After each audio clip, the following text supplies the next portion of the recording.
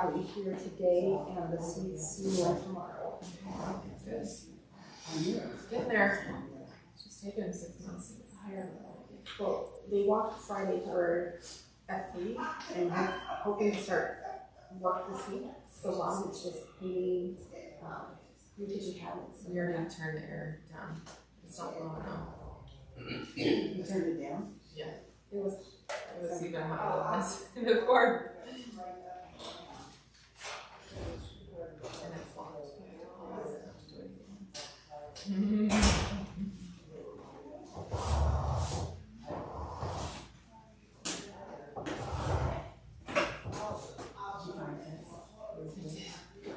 The king soup is right here. Are you the office this afternoon? I'll bring you two boxes, so you have some. I, I got, I got four two packs, so there's Okay. eight, well, seven now, I can use one.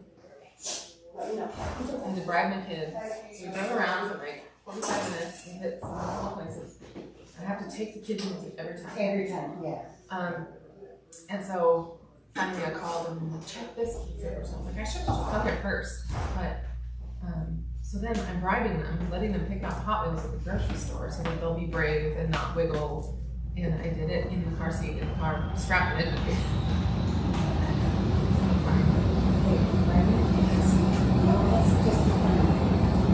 I know. You do what you have to do. I mean, and Hot Wheels are so effective in their dollar. Mabel found a bridal reception at the Barbie van. Okay. But I was planning on like coming in early.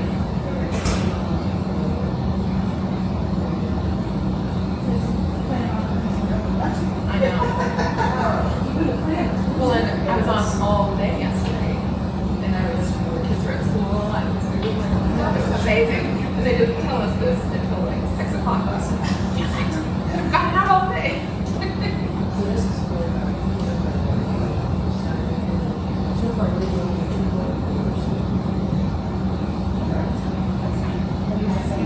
We already, we, we passed around already. I mean, a person would be on top. All right. Thank you. The residents like these bigger tables?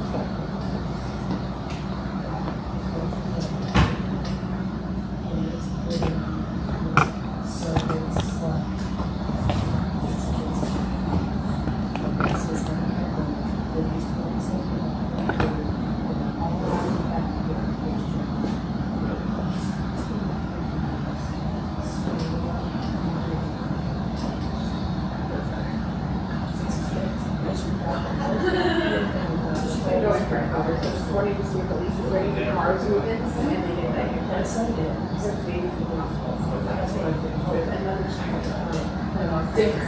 And there's been some here. Second infection. Wow, he's against It us. is, it is better part. So. Is he, okay? Um, so there's been basically the first day, um, Saturday, release, release, Saturday night and all day Sunday. Um, and now we're fighting and I use ninety-eight. Frankly, Two weeks until. this is all very exciting. So I think he had. Well, and the thing is, I uh, I'm not sure. This is, Right, it's a different model. yeah. So there's a new sound. That's, I think, that's- Better night. They raised the, the rules, that's, you know. Oh, he lives out. Yeah. Oh, very good. So under dark. Oh, it's because of the parking lot thing. And they want, it's, know, because it is very unsightly. Just, we're water, we keep bringing it in. Who's, who's the keeper of the book? I guess. Like, with Erica, then, I accepted it. I take up hours, or just where it is. I just want really big spots. I remember my son was in Quebec. They weren't still there. Yeah. Well, I work on some sports and she's, that is what's up. Yeah, but you did get the, like, the medal. I did. It's, we team all with Erica Jackson. Oh, yeah? Not a problem. Did you, Yeah, you that's Laura exactly Cameron it. all? Yes, Lauren just emailed, she said she medal could be about five minutes day. late, but she'll be here at ten minutes. Not yet, right, right next.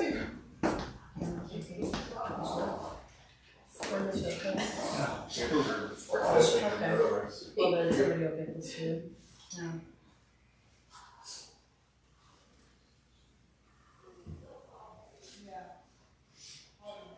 So Lauren is running five minutes late. Three, yeah, five, all right, so, we have corner now. I think we just start with the, uh, beginning of it, um, so I call the meeting to order at uh, nine oh two, uh, we do a call to order and roll call. Okay, Yes, um, so we have Tom DeVee, present, Jean Christopher.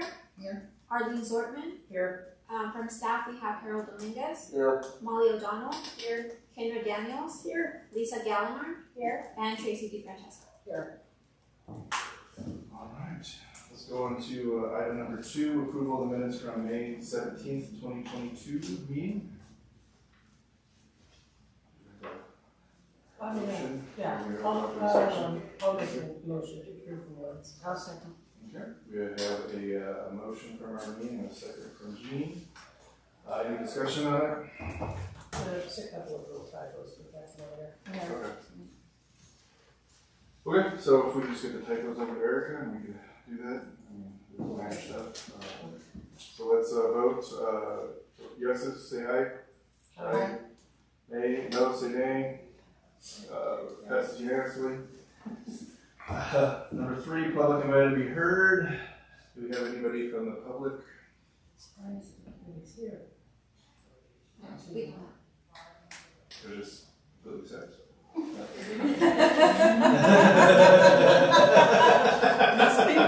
I love that one. Right, yes, they are. So moving on to, to number four, um, organizational updates, uh, the bylaws update.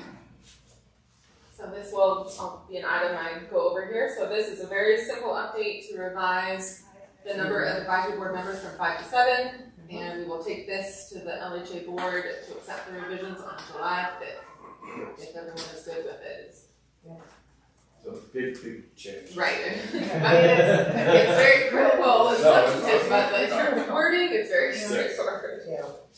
Do we need to approve the change I think, um, that's given? yeah, Okay, Well, we, we had a, we had a motion last time, I think. yeah, that's what I thought, yeah, yeah. okay.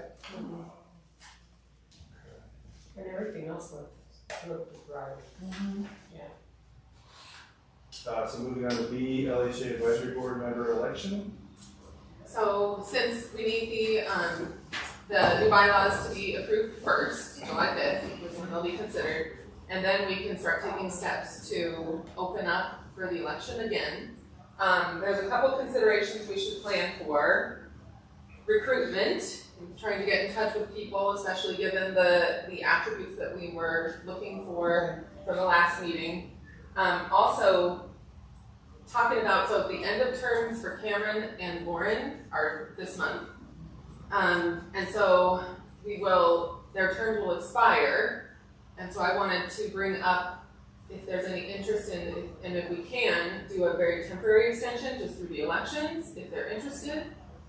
I don't, I have to research a little bit about the possibility of this, but I have it here on my I hand. thought it was Tom and Laura. Yeah, I think, yeah. Tom, I'm sorry, Tom and Laura. Yeah. Lauren. Yeah, and Cameron resigned, yeah. Right. Yeah.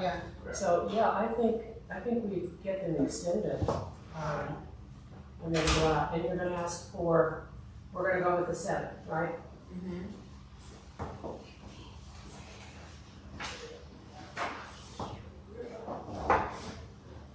But that, would that be a commissioner vote, or would that be?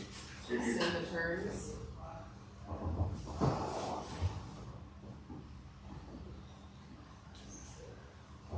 I don't, I don't know if the commissioners would need to, if it was just temporary, we can definitely let them know on July fifth. Yeah, we want to know as well. We'll have to look at it. Either way, I think you could, sorry. go Yeah, oh, yeah, I was just gonna say, yeah, we could vote today, just uh, kind of Right. temporary, extend it, and then we could bring it up, and then if, if need be, yeah. Temporary in terms of two months, three months? That's what I had in mind, and when it's Yeah, that's a chance, yeah. just to get through elections and have enough people to make decisions for the next couple of meetings. So we're gonna keep the people that have already applied or are going up totally new again? Um, I think that it's only fair to keep the ones that have applied and open it up and accept a bigger pool. I'm open to thoughts on that, but, um, not, they don't, I mean, they'll, they'll probably want to reapply if we don't just accept them, so I think that makes sense to let them just keep those.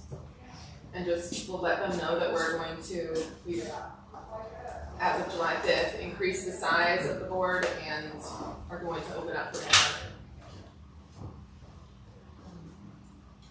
Can we communicate then to the two, uh, people that applied, just that we're still Yeah. in the process? Yeah. Just so that they're not hanging out there, not knowing about it. especially if um, the other city council advisory boards are all moving forward and they don't care anything. right, right, right.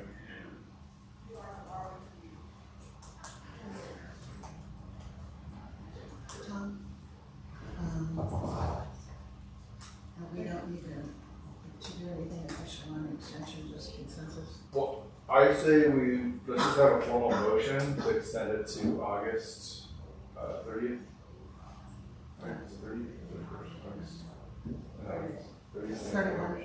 Thirty-one, okay, August thirty-one. Okay, Uh, so somebody can make that, uh, it would be then me and Lauren. yeah, be extending temporarily. okay. Then I'm going to move that we extend, um, extend the life of. Extend the life. Extend the commitment for Tom and Lauren to stay on the board as everyone wants. I'll second. Uh, do we have any discussion? All right, let's vote. Yes, say aye. Aye. Aye.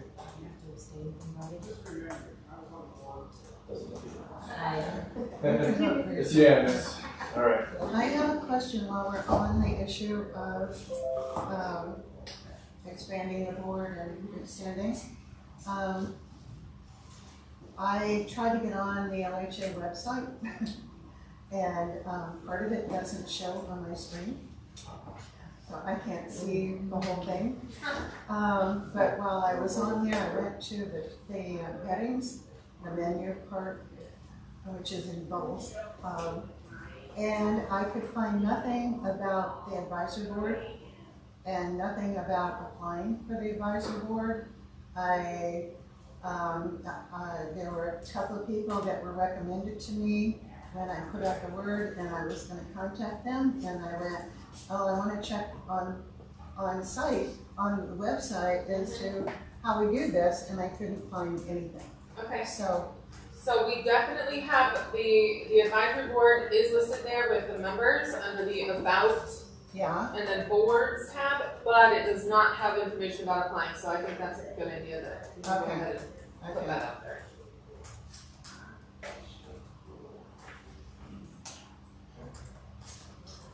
Move on to item number five, developments and our project updates, alignments with goals. A is NOFA vouchers. So That's me.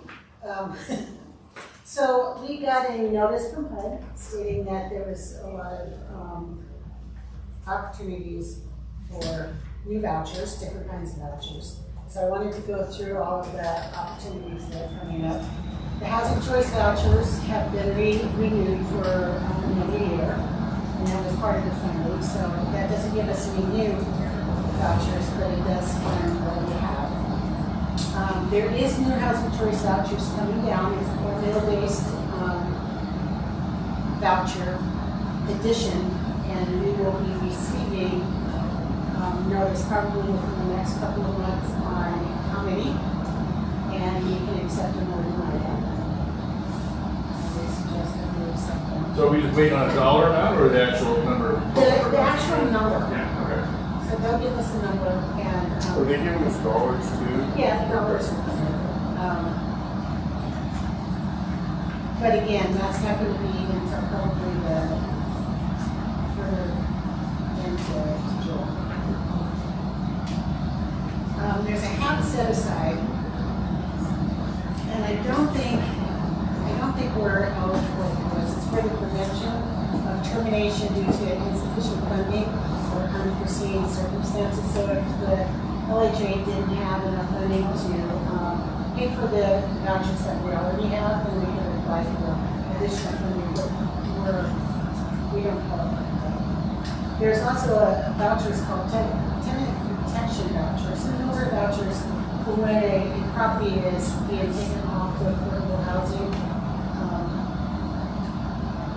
list and in becoming private, available for those people that are currently living in the, in the property. We don't have any in Longmont that are, um, coming off of the affordable housing list, so we won't be applying for that one. Um, there's different fundings for administration costs, um, and we don't qualify for any. It's, it's additions, if there's limited admin fees for if you had several counties that you were operating in, you going to do that.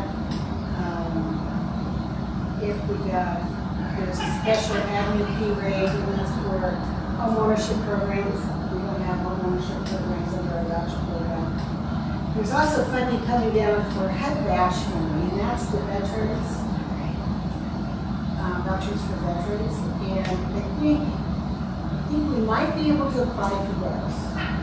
Uh, Separate NOFA, which is the notice of funding availability, will be coming down probably in the next couple of months. We'll see if it's for either refunded or, um, funding already VASH vouchers, or if we can apply for some vouchers.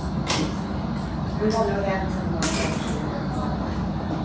Um, there's funding for mainstream vouchers, and that's the funding, um, that funding is for existing mainstream vouchers. And we don't have any mainstream vouchers, so it doesn't give us an opportunity to get any. So it's just for things that already have it. And then there's, um, family unification program, and I've never heard of this one. But this is, um, this will be issued with a separate NOFA, and this is for vouchers for families to keep them together, and for foster that foster care ki- kids that are coming out of foster care.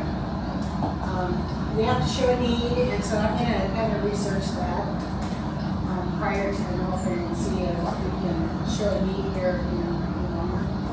What is considered family that? Is it parents, children, grandparents? And something, It's- what's considered family? From what I, from what I get it, it all, it's, it's all about kids, youth. Okay. So it's keeping the youth in, in the family and not homeless. And that might mean that the whole family, you know, um, to keep a child. Is there limit on? I don't, I, again, this is the first time I've ever heard of this one, so I'm not, I'm not really sure. I know some of the other federal um, programs for those kids coming out of foster care, going into like low-income housing, they normally have a five-year period that they're eligible for that assistance. So they could be anywhere from like eighteen to twenty-three and get those programs. Yeah, the other thing is the school district, we want to touch base with them on their, their, what's the guy's name? The guy's name? Uh, Anyway, they have a guy that deals with it, people that are marginally homeless or homeless and students. And so they can give us their numbers. Yeah, They might have to deal with a lot of emancipated youth too. There's um, a project that just opened, Caraway with Baker, and they have um, a handful of vouchers for kids aging out of foster care. Um, so I don't know if you want to connect with them and see what, Baker Housing, it's called the Caraway. where is that? It's, um, it's in Adams County, it's basically like right at the end of US thirty-six, you just head north. Around that area, I'm not as familiar around there, but I went to their grand opening, it just looked really beautiful. Good to know, thank you. I will contact them. And then the last one is uh, moving to work. Um, HUD has put out a NOFA for thirty additional agencies to participate in an experiment for um, vouchers. And the moving to work, it's an asset building. It's, it's actually just um, to pay for a um, counselor to help people um, save. And you can use your admin fees to, to put into savings accounts for them. Um, I don't know if any funding comes available with it. It's just that they waive a lot of federal regulations. And again, that's gonna come out in a NOFA. I will, I will look into that. What I read wasn't, it's, it's just funding flexibility.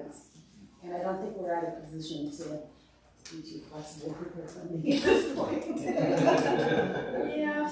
But, um, I'll, I'll look and see if there's any funding that comes with it. I wonder if we could tie it to like the PI program with the county. You know, we, we used to fund the PI program with the CDBG, um, funds. And it was a difficult program to, to get up and running and, and constant.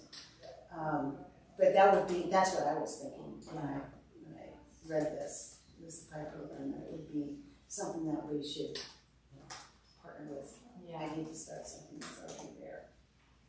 It might be helpful for like residents, because it's one thing to just put money aside and know like, okay, if someone's gonna match it, it's another to like understand oh, like, money in general, like why and how it works and what the mm-hmm. benefits are long-term and how to deny the urge to Urge to spend spend. now. Which I have a problem with. What what did you call that program? The PI program, personal investment, something. Okay, because we had, um, under the RISE program that was in the neighborhood, um, w- w- there was a lot of financial, um, advice given to the RISE families, um, to the point of building their credit and, and how to do that and, um, uh, how to budget and how to, and not just save, but how to budget and, and, um, there were, and I probably mentioned this before, out of nine families, there were two of them that bought homes after five years of that program. So it, it, it, the, the whole financial issue, the whole financial picture was presented and, um, if Pi does that, that would be, that that's, um, and there are rumblings in Longmont that they wanna kick up the RISE program again. So we might have resources here that can pull it together. Yeah, and I, I'm all for, um, financial counseling Yes, to, Yes. um, our residents. yes, especially the families, yeah.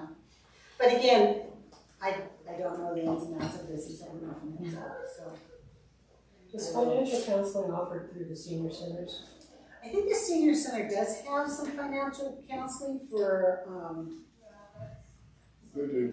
but I'm, I'm trying to think, um, the, the counseling, the Boulder County counseling programs, that we've funded through the CDBG program, they provide financial counseling to, um, people in Longmont, with their CDBG Yeah. funds. Yeah, not to any income level, Yeah, yeah. yeah. So that's it, that's my report for the funding. Let's go on to B, development updates. Okay, so just uh, talk about some of the highlights on progress we've made since we last met. For Village Place, we have um, Sarah Bott, our, she's gonna be our, our consultant on this, she's the same one that consulted us on, on this rehab. Um, she, we have her under contract, we have put out a, a request for qualifications for uh, legal services.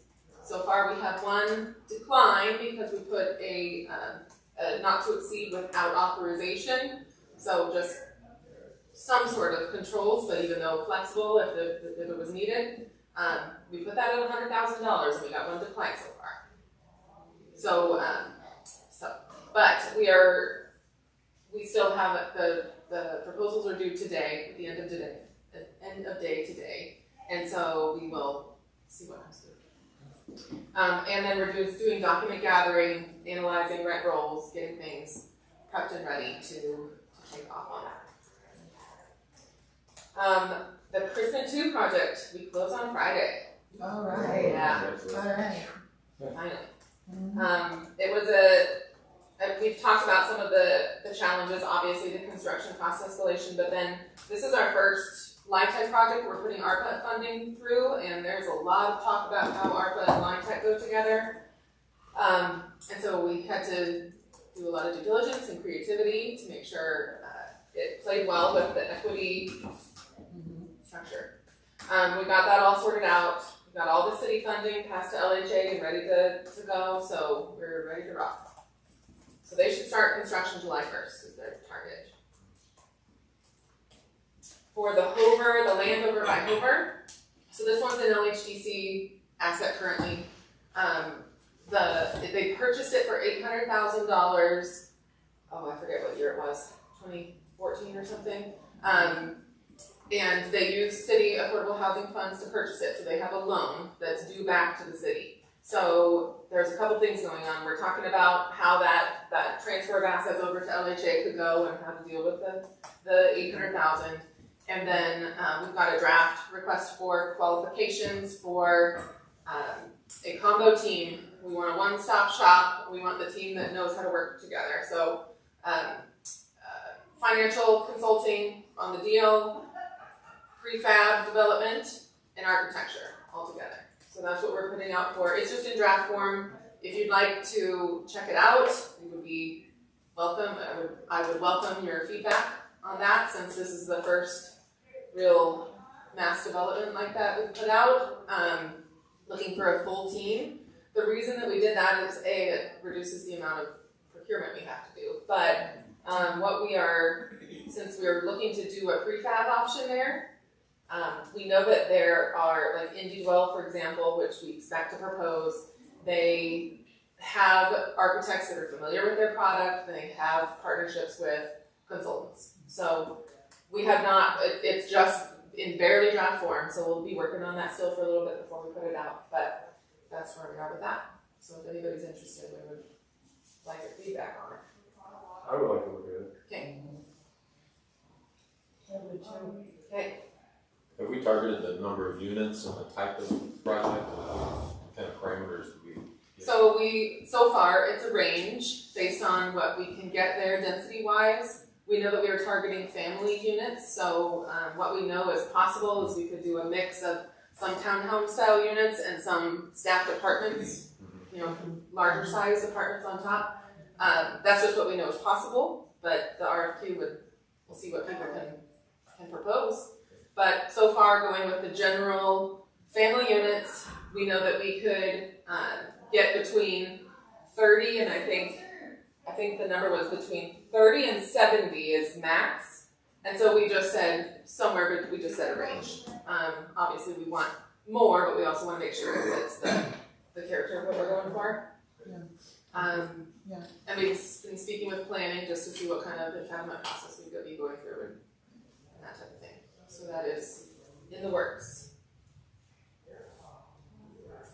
Uh, next, we're we now that we have Katie Pung on board, we are just rocking and rolling. So, affordable assisted living.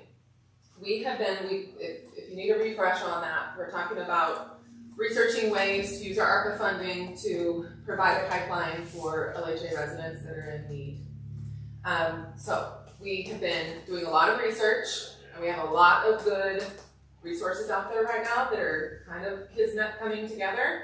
So NDC, the National Development Council, we have, have the city has a contract with them to help on on a, an array of development issues, and they have a lot of experience doing affordable assisted living, like LIHTC uh, funded assisted living, and then um, we met with another developer on another project, and he said he just threw out assisted living, and my ears perked up. I chatted with him after, and he has worked with NDC and affordable assisted living in Illinois.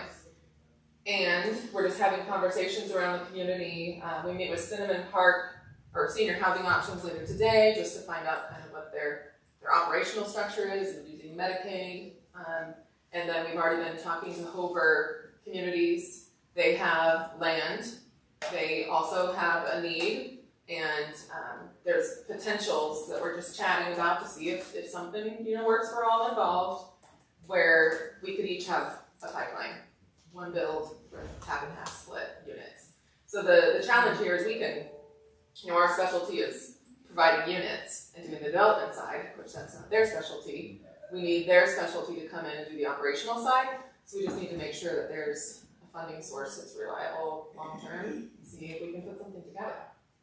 So we might have a development consultant, a developer, land and a, and a service provider might be coming together still researching and making sure it works. But that's kind of what's cooking. But so our, our hope would be that it'd be for family units, but Hover's probably still gonna be focusing on senior housing. If, if it was a bill, Assisted living. oh, it would be assisted. So, yeah, the Hover land is family Yeah. units. Okay. We're talking to Hover communities down on. Oh, this would be a completely Yes, separate yes. deal. Okay, cool. Um, they, they do, um, senior independent living, assisted living, and skilled nursing care there. So we'll see, we'll see what, what pans out, but right now we're discussing with people what their needs are and what their, what they can bring to the table. Um, the Royal Mobile Home Park, um, if you recall, that's the, the mobile home park that washed away in the flood. The city owns that land. Now the flood improvements have been made. It will be out of the mapped floodplain here probably in twenty twenty-three, approved by FEMA. Um, so we're chatting right now just internally at the city with, uh, planning and looking at the riparian setbacks and just seeing what kind of proposal we could put there, but the intent is to do, um, um, rental units basically go as high as we can in that area. It's close to First and Main Transit Station, transit-oriented development. We're talking to NDC about that since there's potential for new market tax credits and other kind of financing in that area. Um, so we're just doing some city internal due diligence right now to see what makes most sense at that site. How big is that site? It's three and a half acres Before Um, the setback? before the setback, but we are talking about what makes sense with the setback there for the city staff. It's a unique area, it's, you know, Goes long. yeah, and the, the, the riparian area is defined. Um, so we're, we're strategizing what we could do there to make it make sense and also still have enough room to develop. Well, with the, with the change in, you know, the construction on the river, what is the floodplain now in that area? It's constrained, I mean, it's still, it's still The setback It's is. the FEMA mapping, but the setback still applies regardless of the floodplain limit. Um, and that's not, this, it's not contiguous, but, so. We're working on it. Still internal, internal work. Well, part of that is, so we're, um, to sign an agreement with RTD on the transit-oriented development further north. Sorry, pull that out. Uh, further north in about a month.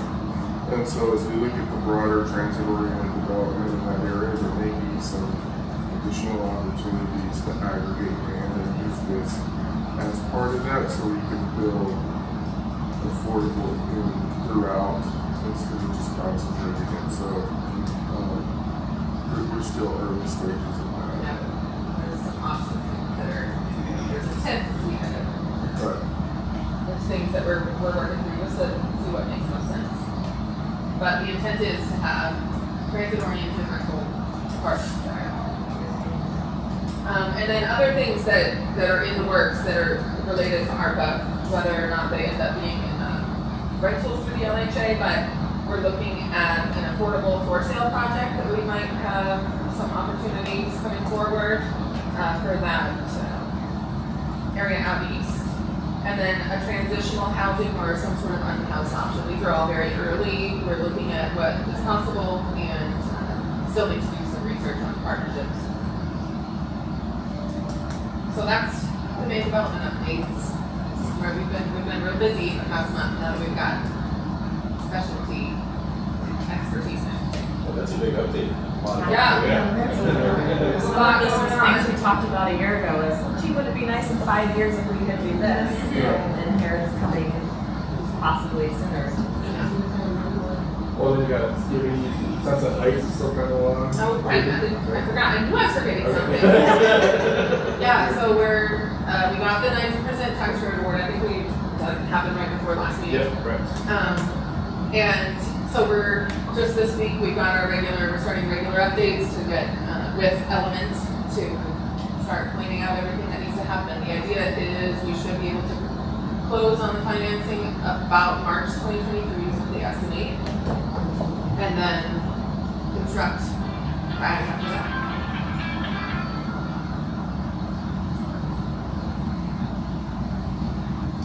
the, uh,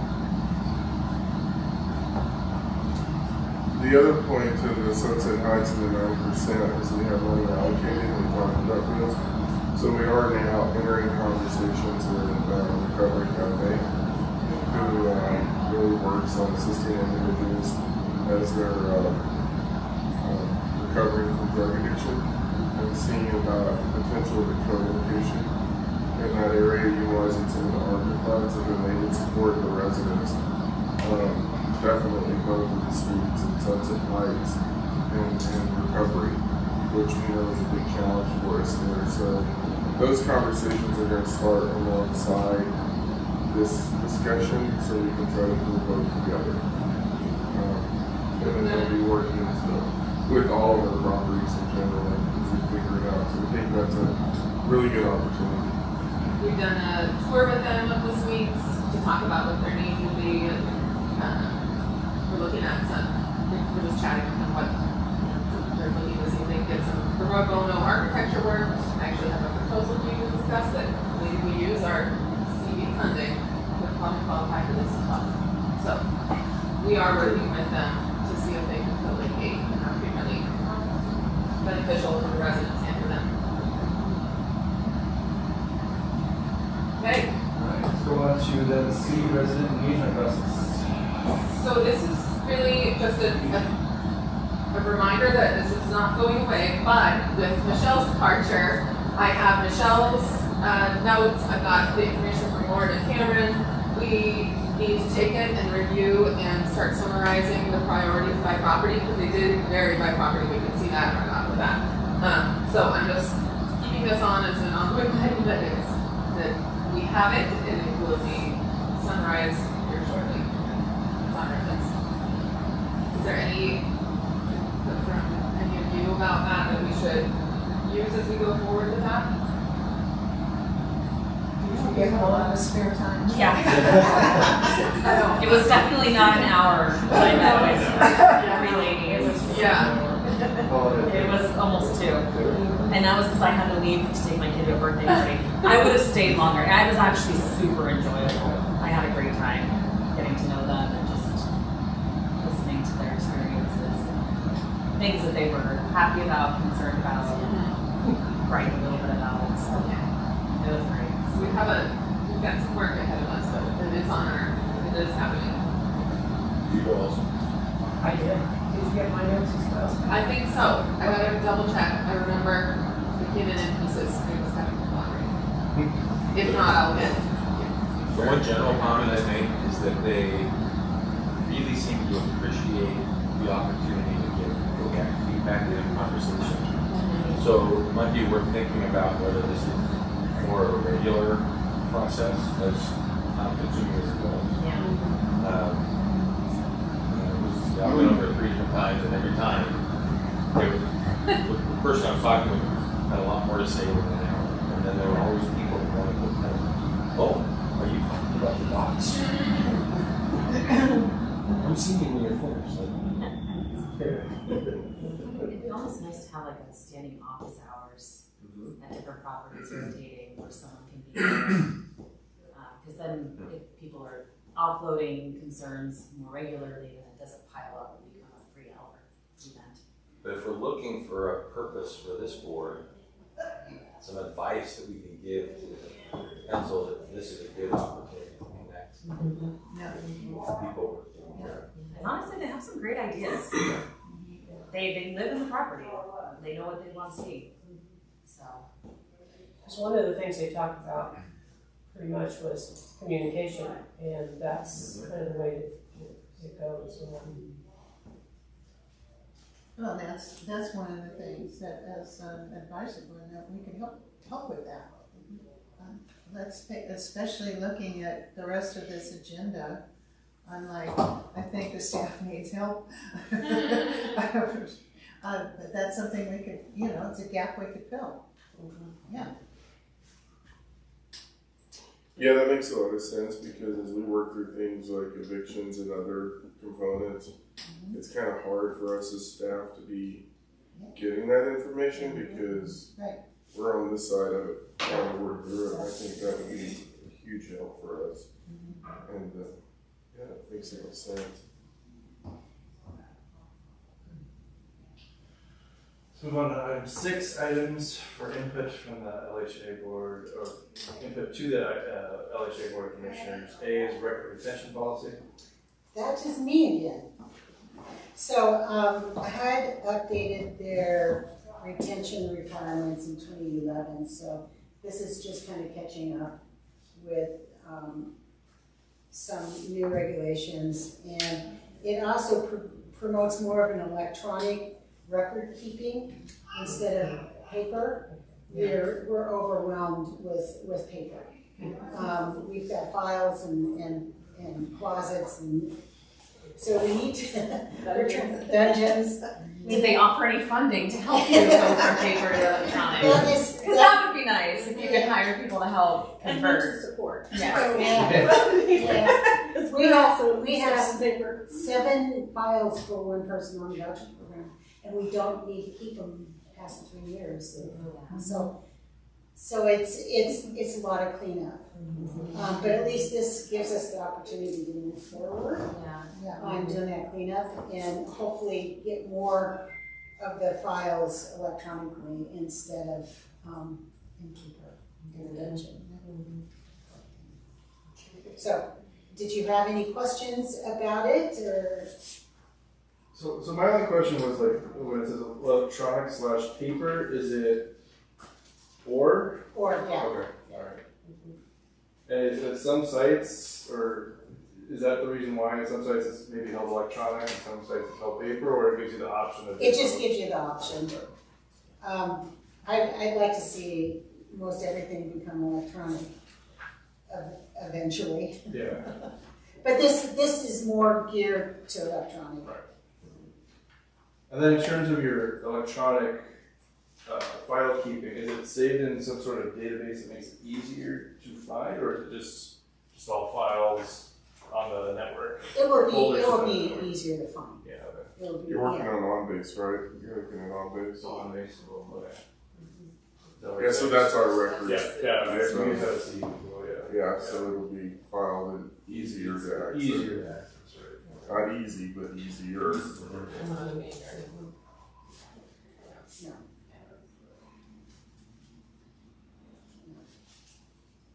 Well, it also has, also has controls on who has access to it too. Yeah, and then we have backups in that, the OnBase, so. And then, uh, does on, base have the capability of, uh, removing the documents in line with your? Purging. Yeah, purging them in line with your document retention policy, or? We you put still in do it dates, manually? yeah, we, we can insert dates and then you can sort by date and start picking them off. What is it automatically, yeah, you have to go I in think manually. Lucian was working on looking at, looking at that, but then she uh, resigned, so our new records retention person for the city will help us figure that out. I think it's good not to have things automatically purged, because if the dates are entered in wrong, Right. Mm-hmm. You'll hear a lot. You have having some control. I had just a couple of questions. And they just really are sort of, you know, I'm understanding here. So this three years after completion of contracts, is that a s- a federal guideline? Or you can even- These are all federal guidelines. Okay, all right, I was just, I was wondering where that number came from. Yeah. Um, where you have on employ, excuse me, employee applications unsuccessful, it says two years after date of application. I'm trying to figure out why we even keep those.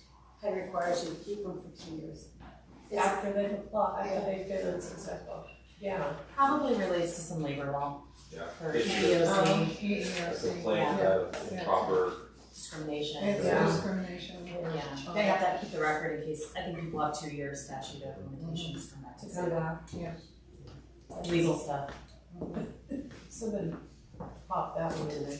And then on the last page where it has, um, reasonable accommodations, uh, number two, written reasonable accommodations, and then you go down farther and it's another reasonable accommodation. Uh, what's the difference between those two and then the one says medically and the other one does not? So I'm, I'm lost. Where is it? Last page.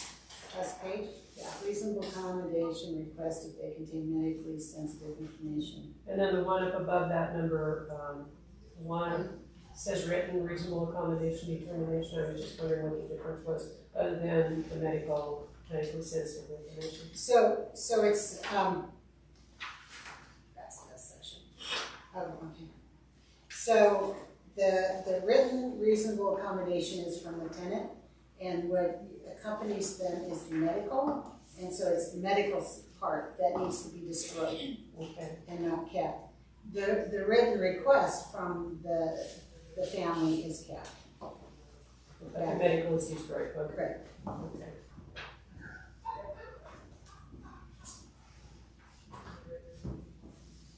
Any other questions? I was just gonna suggest that if it was helpful for resources to like volunteer to scan documents to help convert to electronic, I would be happy to help with that. You know, because I know how intensive that can be.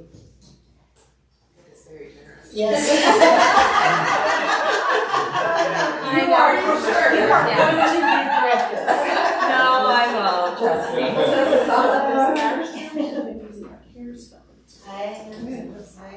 We found that we were very paper oriented organization, and when we had to go COVID and do it at home, there was a lot of, uh, documents you couldn't find unless you went into the office. Yeah. Well, that's another reason why this is important, is so we can, like, we're having staff, like our HCV staff, that they, sometimes they're coming on site because we've been short on property managers, just being here, and they need access to stuff wherever they are, so. Uh, so six B, section three plan. Do we need a, we need an approval for that? Uh, this gets approved by the board July fifth, but really this is more Okay. for input before it goes there. So same with this one, this section will also go July fifth. Well, if the advisory board wants to make a recommendation for approval to, uh, um, Yeah, why don't we do that? Okay. Can I get a motion for a recommendation? to Move the, uh, river retention policy to the commit board of commissioners. So moved. Do we have a second? Second. Any discussion? Last vote, uh, yes, say aye. Aye. Aye, that's unanimous. Okay, Let's go on to six D, section three plan. That's me too. So HUD requires that, um, that all housing authorities have a section three plan. Section three is for development type projects. And, um, any, anytime LHA puts any funding into a, not maintenance, but some type of construction.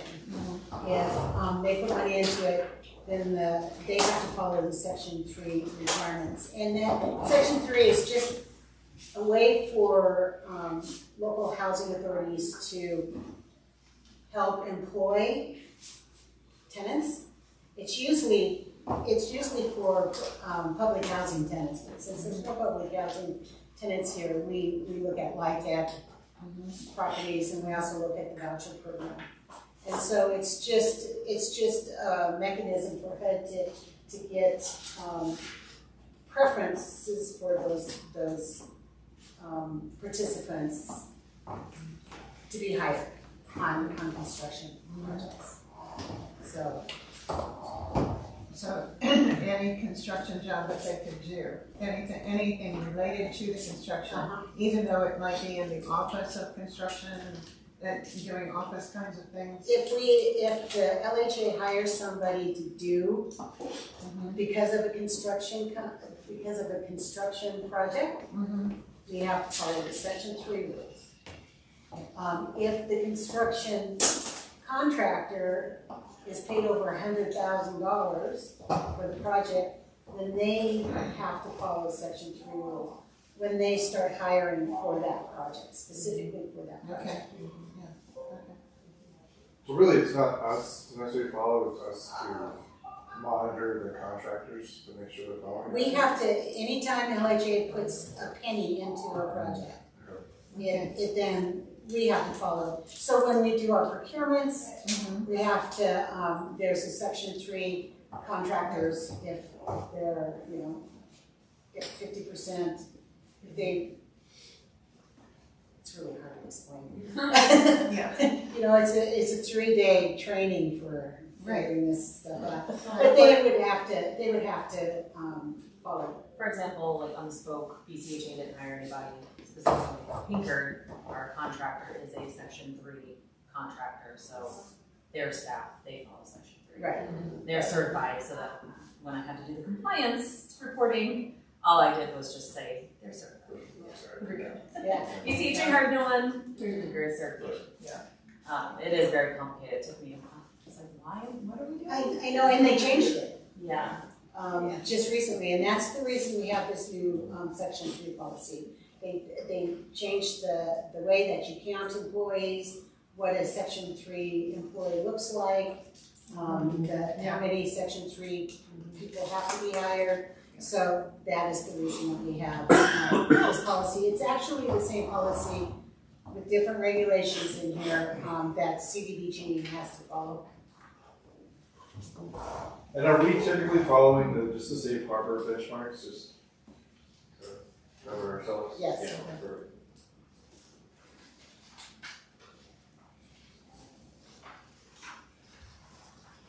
Any questions?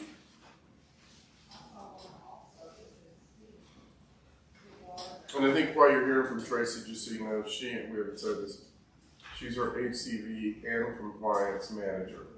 So mm-hmm. this is her compliance work that she's doing, which I don't think we've had. I mean, I'm looking at Cameron for years, and so this is the compliance part of what we hired Tracy to. Or what Tracy moved over to do. We stole her. Was- Yeah, It's a little barn. We stole her. Thumbs, one for one. It's, it's much more uh, refreshing to think about how we do comply than how we make up for our failure to comply. Right. Well, we're gonna be in that mode for a little while.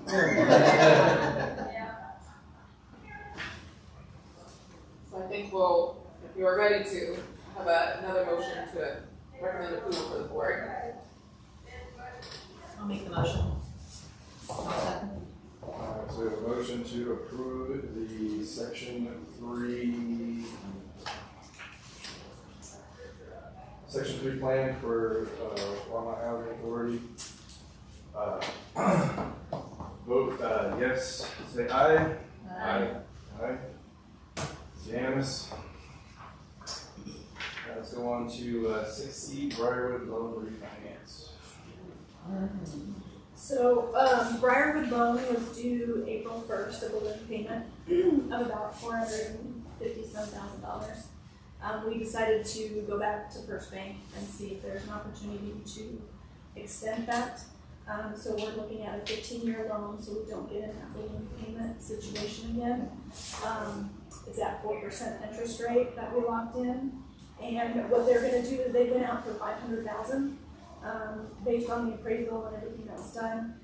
We're, any cash back, we've decided to take that and create a replacement reserve for the Briarwoods, because we do not have one. Um, there's no separate cash that was ever set aside to, to do any type of repairs of the Briarwood if needed. So, um, they think it's gonna be probably around thirty thousand dollars. Um, and then maybe we also probably need to establish a monthly, um, allocation as well. Because that's not, that's not being done, right? It, it's, well, because it, it was never part of a tax credit entity or anything like that that sets that up. Um, so maybe establishing some type of per unit cost, I think, um, by the end of this year to make sure that we're just adding to that fund as we go. So we'll just include that in the next budget around then too, the, add to the reserve as well. Is that what we'll need to do, or? Yeah, that would be, Yeah, yeah, yeah, yeah, yeah. Right, okay. Yeah. So that may be, that may, they, we may have to increase, increase rates, rents for the office for, not necessarily the tenants, but I know the tenants haven't had, we haven't done an increase there. Nineteen. Yeah, so we'll have to look at the tenants to see what, what types are out there, who, who has vouchers, who doesn't have vouchers. Um, I think it's kind of half and half right now. There's half that has vouchers and half that, so that increase could affect. We look at these, we're at over sixty percent on here. And then we're adding.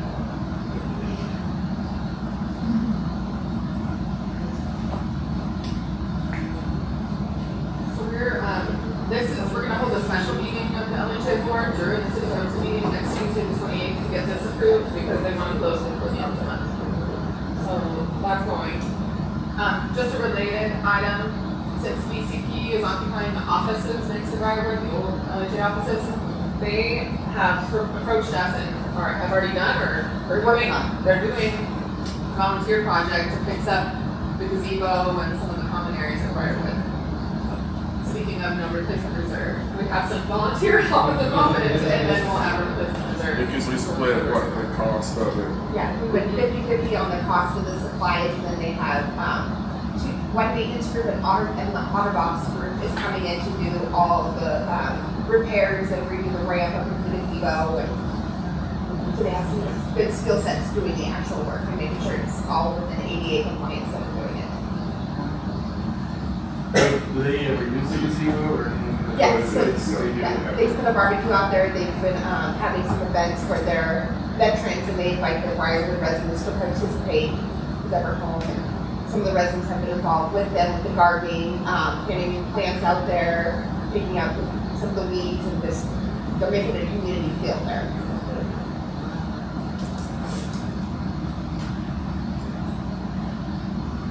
Uh, let's go on to number seven, uh, anybody have any items not part of the LHA work plans or goals? Ed? It's kind of one always on the agenda. Okay, let's go on number eight, LHA report, A, uh, update on operations, uh, one is occupancy report. So the attached occupancy report, we did have a one percent drop in occupancy down to ninety-four percent. Uh, this is gonna be due to our unit, our meth units, we, we're now currently at six or seven meth units in the portfolio. And then, um, we had some maintenance, but now I'm fully staffed for maintenance, I had one maintenance who was, um, injured, who was only working with limited capabilities, I had one out on surgery, but we hired, everybody's hired, everybody's back to full capacity. So we set some guidelines. Um, had a big maintenance meeting last week with my managers and the maintenance, setting timeframes, getting everybody on the same page of how we're moving forward on maintenance requests, maintenance timeframes, turn requests, vendors. So we're hoping to see some, these numbers come up pretty quickly.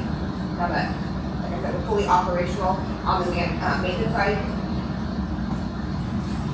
Um, the details are below, so I'll go over some of these um, with the property updates, which is the next portion. But any questions on the occupancy? Lisa, are all of the meth units having to be done by outside people? Correct. This is a state requirement. There are no high enough where we have to. Correct. Remove drywall, remove studs. No, not all of them. Okay. Uh, As we go, uh, they're all listed here on the property update, so I'll go through each one where we're at in the process on those ones. So for the property updates, um, general property updates, so, uh, we've had the fire department at many coffees and conversations through May and June. I'm actually working with, um, Michelle Goldman with the fire department right now because almost each one, I heard different information from each fire department, Arlene's been at most of them. And some were really good and some were very iffy, so I'm trying to work with Michelle to get all departments on the same page so that I can get the same information to all residents so that we're not doing one thing at one property, one thing at another property, and it makes it really confusing. Going, oh, we were told this and we were told that, so we're trying to get all that organized right now with the fire department. But it was nice having them here. The residents really seem to enjoy it. A lot of them we paired with an ice cream social, and so we figured fire nights. Um, it was a great opportunity for the residents to gather before the coffee conversations. Currently, Nextlight is um, attending our coffee and conversations and working with the residents who don't already have the low-cost internet or free internet. So they're going through how to get the upgraded modems, how to, you know, get higher speed, apply for the programs. They're even bringing with them lists of residents who aren't receiving any rebates and trying to single out those residents afterwards and say, hey, we noticed you're, you, you live at LHA property, you should automatically get this discount. You're not. Why? And so they're trying to help them get those discounts right then and there. Yes. She already emailed me this morning to confirm. They will be here. Um, And that's tied into the federal program, the correct. federal dollars that our excise staff went out to get, and basically covering hundred percent of the costs of certain individuals and their tiers. So the Fed program pays the full rate. And, then we reduce it, and then the Fed program is a way we can reduce it, but then we cover it internally. But as long as that program is being funded, they're paying us full freight for every customer. Correct. And the only cost for the resident is if they decide to rent a modem.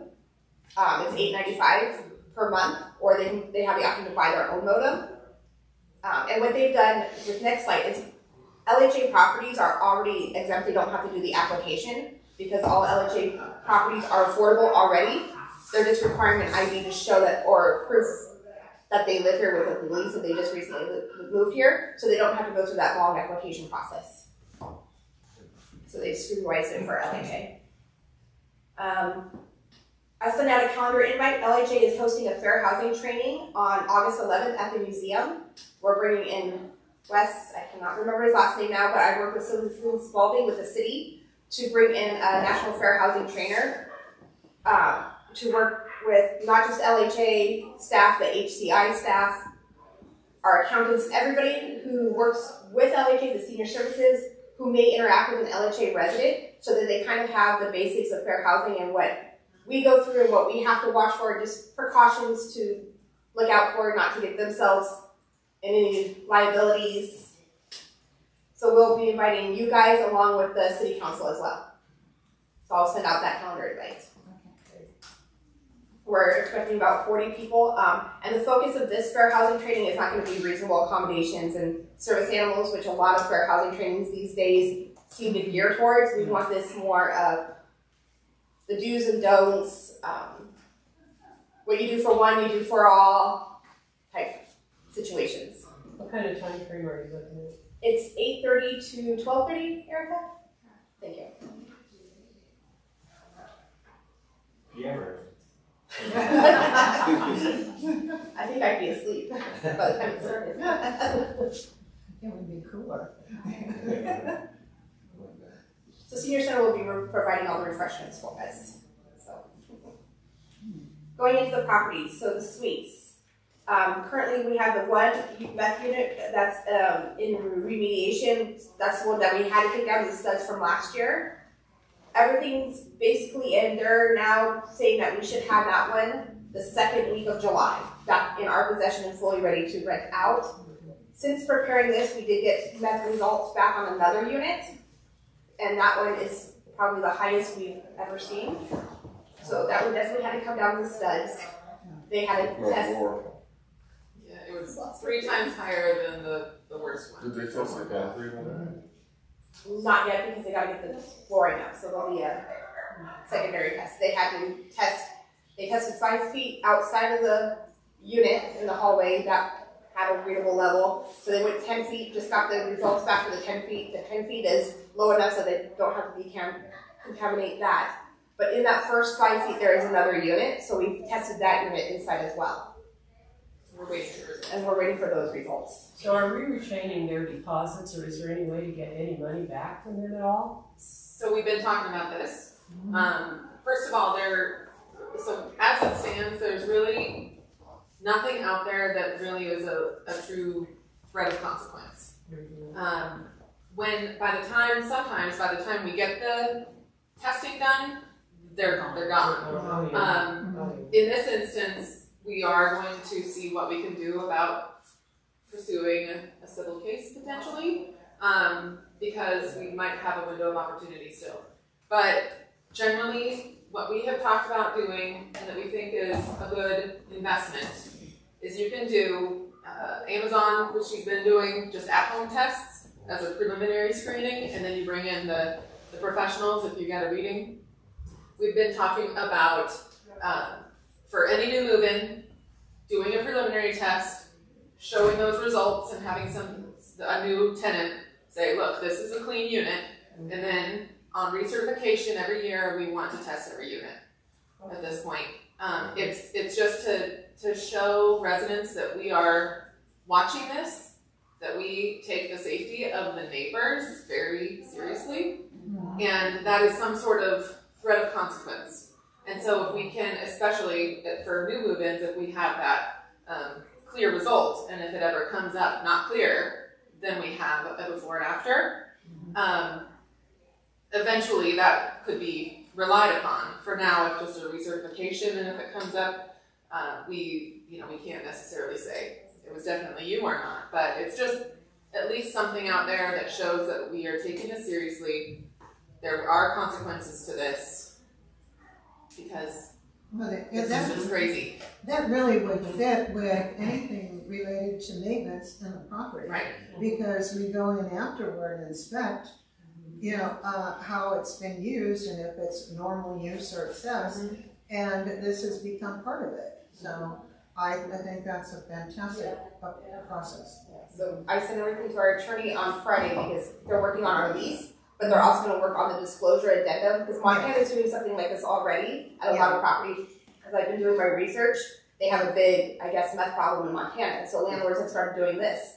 Um, testing beforehand, having a disclosure that they sign off on stating that management has the right to test annually, if not, more frequently. So I think at the suites, this is gonna be a big deteriorate or as people start hearing this and want to move into the suites, then they find out we're doing this, they may not even want to sign that lease.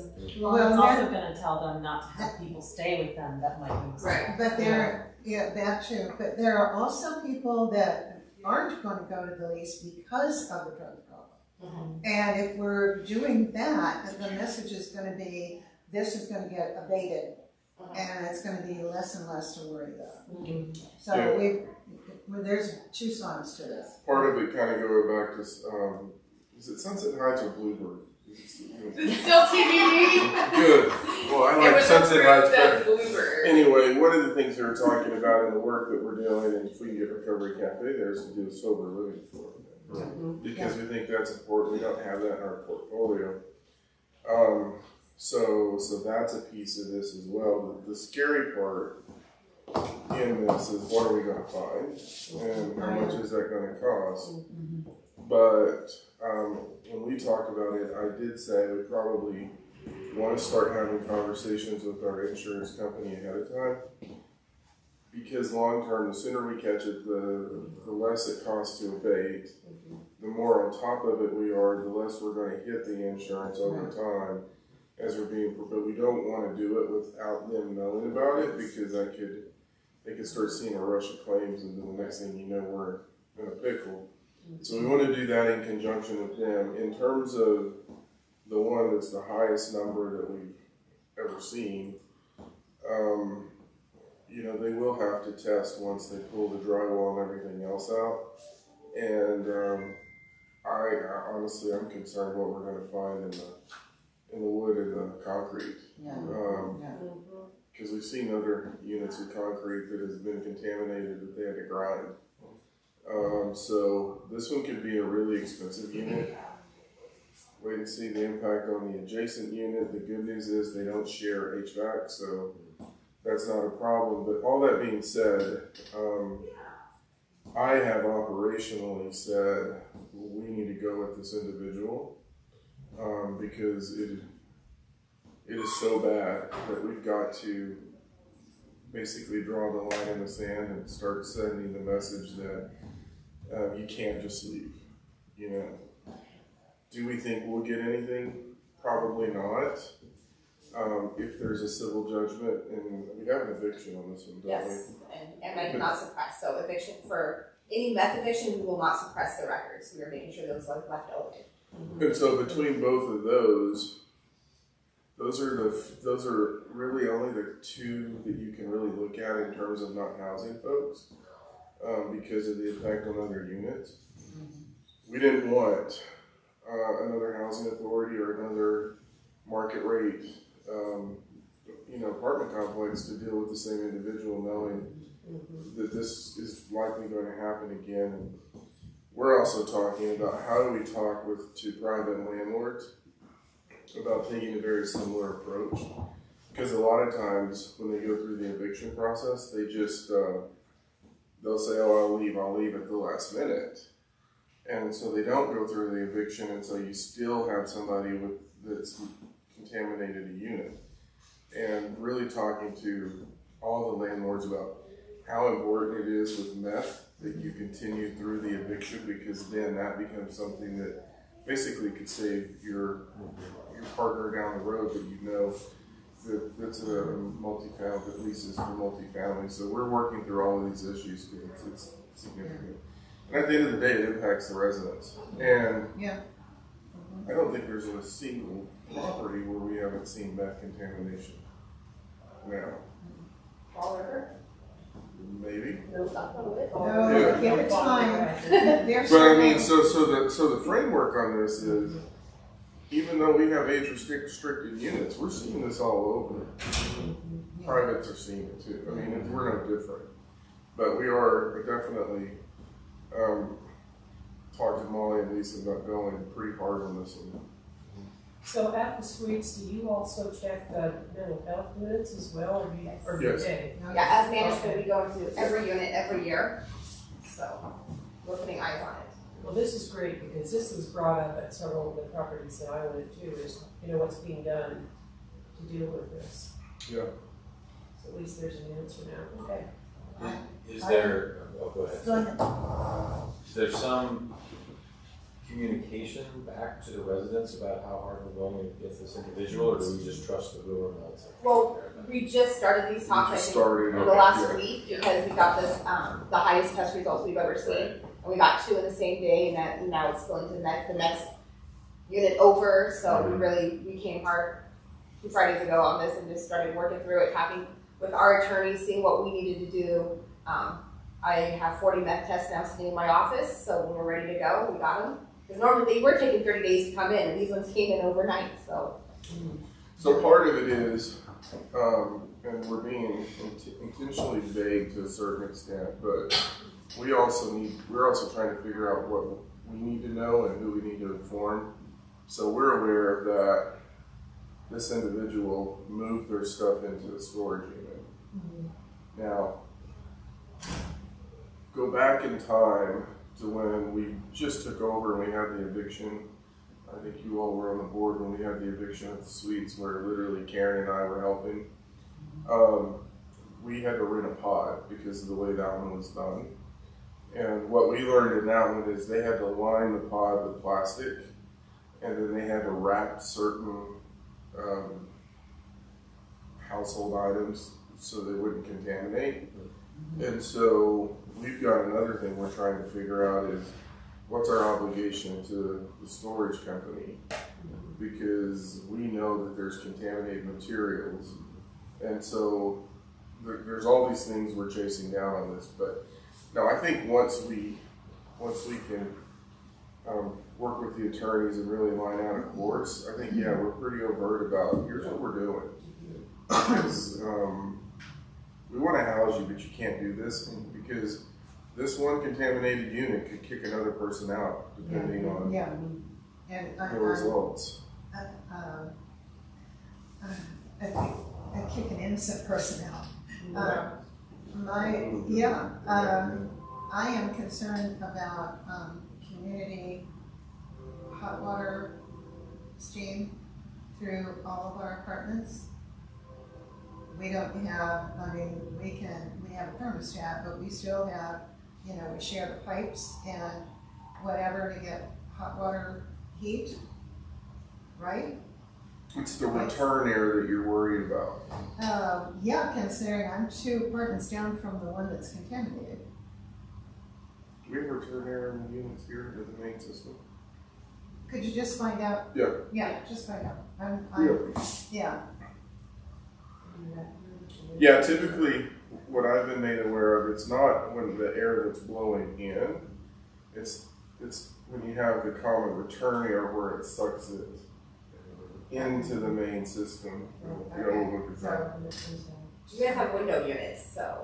Huh? You have window. She's worried about the water pipes. We gotta look into it. Yeah. Um, to your point, Cameron, yes, we do plan on doing, once we have enough information, Mhm. do plan on doing a communication effort, especially ahead of next year's recertifications. Which, all those are, they're done for twenty twenty-two, so we. And kind of tying, I want to probably jump on something Lisa's going to talk about, tying into the meth units. Um, they made an application to uh, CDBG and it was approved, and so we will be able to put, we're now going to put cameras in all our housing authority units. Those that don't have. Not The common. The common.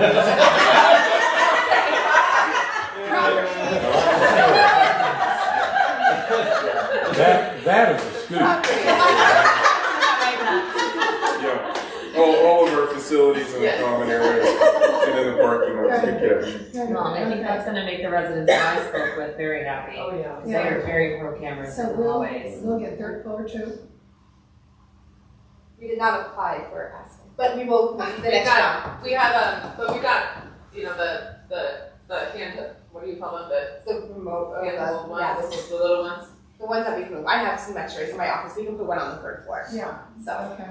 Um, but on, because I should do an update on this, didn't think of it for this agenda, but, um, the LHA staff did apply to the city CDBG program, and on June twenty-eighth, on Tuesday, um, the council will consider approving those, so that they were recommended awards for resurfacing Hearthstone and Lodge parking lot, including, ADA modifications, um, redoing the playground at Aspen Meadows neighborhood, and the security cameras. So those are all recommended for approval.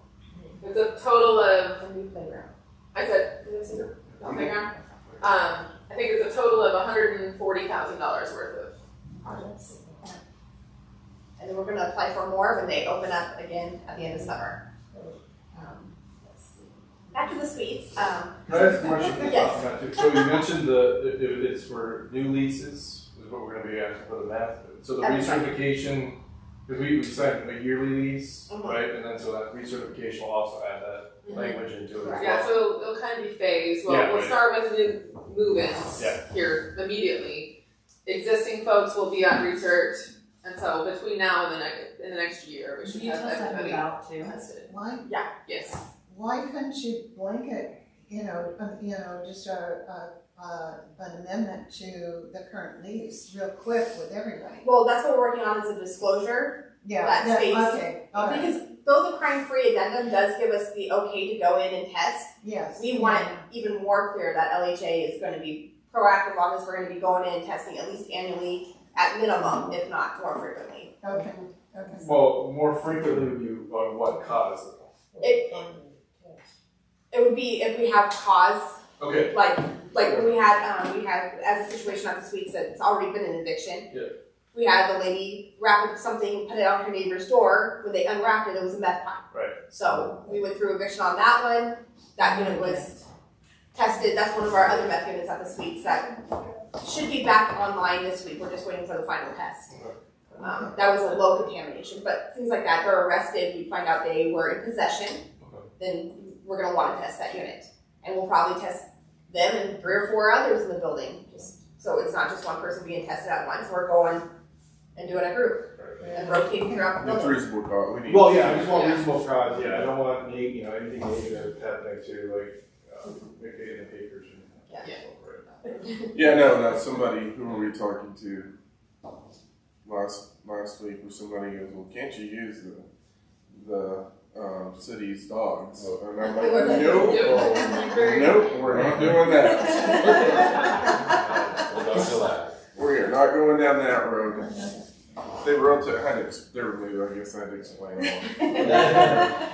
Yeah, that's bringing it up. And then, and then one other question on that, so would we be testing, so if we, if we added that into the, the new recertification process, would we be testing at that point or the next recertification process? At that current At that current recertification. recertification. So when they start the paperwork, we're gonna have them sign the disclosure saying, hey, we're gonna come in, because we s- start the recertifications hundred and twenty days Uh, before they're, they're due. Okay. So at that time, when they come in for their first initial appointment, we're gonna have them sign that disclosure, the manager will come in, do the test, Okay. and then, then we know if we even need to move forward with the paperwork and do a lease renewal, or if they just need a notice to vacate. Okay. So, And, and Tracy's team, with Marcus and Ruby, they're, what, a month or two ahead? Most time in The sa- Clarkson? Yeah, the, the same, we start hundred, they start hundred. Yeah, but they're actually ahead of schedule now, which we haven't been, so that, that'll really help. And then are we gonna have an appeal process in there at all? Or, so what if, so what if, you know, our initial test comes back, they- it is positive, they wanna appeal it, are we gonna then have like, the, you know, the official? well, we do have a testing? grievance policy that they Yeah. can work through and Okay. state, you know, you have a proof it was me, then, you know, we can work, you know, through the team. Do that, okay. And we do we do know that if, if somebody doesn't move in with a clean test, we can't prove it was them. Right. You know, um, but we still want to. This is all said without understanding how many will Yeah. pop up, but um, we do want that resident to be living in a safe unit. So Yeah. whether it was them or not, we want to fix the situation. Also, see how many are in the situation and how we can go about that. Yeah, 'cause what if, it- I mean, I don't know how, I don't know how long it sticks around, but what if it wasn't them? It was a previous resident, they've only been living there for a year, and they come up. Have, have we thought anything to the liability that we have have by doing that? Well, that's why this is, we are, we are checking those boxes first. Because we gotta talk to insurance and legal just to make sure this is our idea of what we'd like to do, but we have to make sure. Because the, the, the problem that we are afraid of, we are apparently, we have a meth policy in our insurance policy. New people, even going to that same company, are not getting those policies. We need to protect that policy at all costs. So doing this in a preventative way is good. There's also risks we need to assess. Um, and keeping, especially everything low level, keeping it out of our deductible and keeping it out of claims as much as we can, depending on the amount. And that may be, that's part of the insurance conversation, is that if we can really work with them and demonstrate how over time, the, the cost of remediation is gonna decrease dramatically. There may be a cost on the front end, but it's probably not as significant as what we're finding in some of our units, and we're making an economic argument for them to then partner in how we're. So we've got a lot of work to do. And just as an example, so for next door, I have a townhouse, and that one's gonna, they're estimated about hundred and fifty. Um, the one here, we're probably gonna be right around five thousand, because it wasn't as contaminated. So if we can catch them early where it's not contaminated, or we catch it, like I said, really early in the door, our costs are nothing. Basically, our, what our deductible would have been. What is the cost of that one at the schools? Um, the new one, yeah, we're, I would say based on the trend and what we're seeing, probably close to one fifty to two, depending. Whole brand new. That's captains and everything, right? Correct. Yeah, everything. The, the last one that the suites was gutted out to everything. The only thing that was still there was the studs and some, some pipes. All, everything that was in the living room, behind the drywall had to be cut out too. The problem is anything that's a porous surface.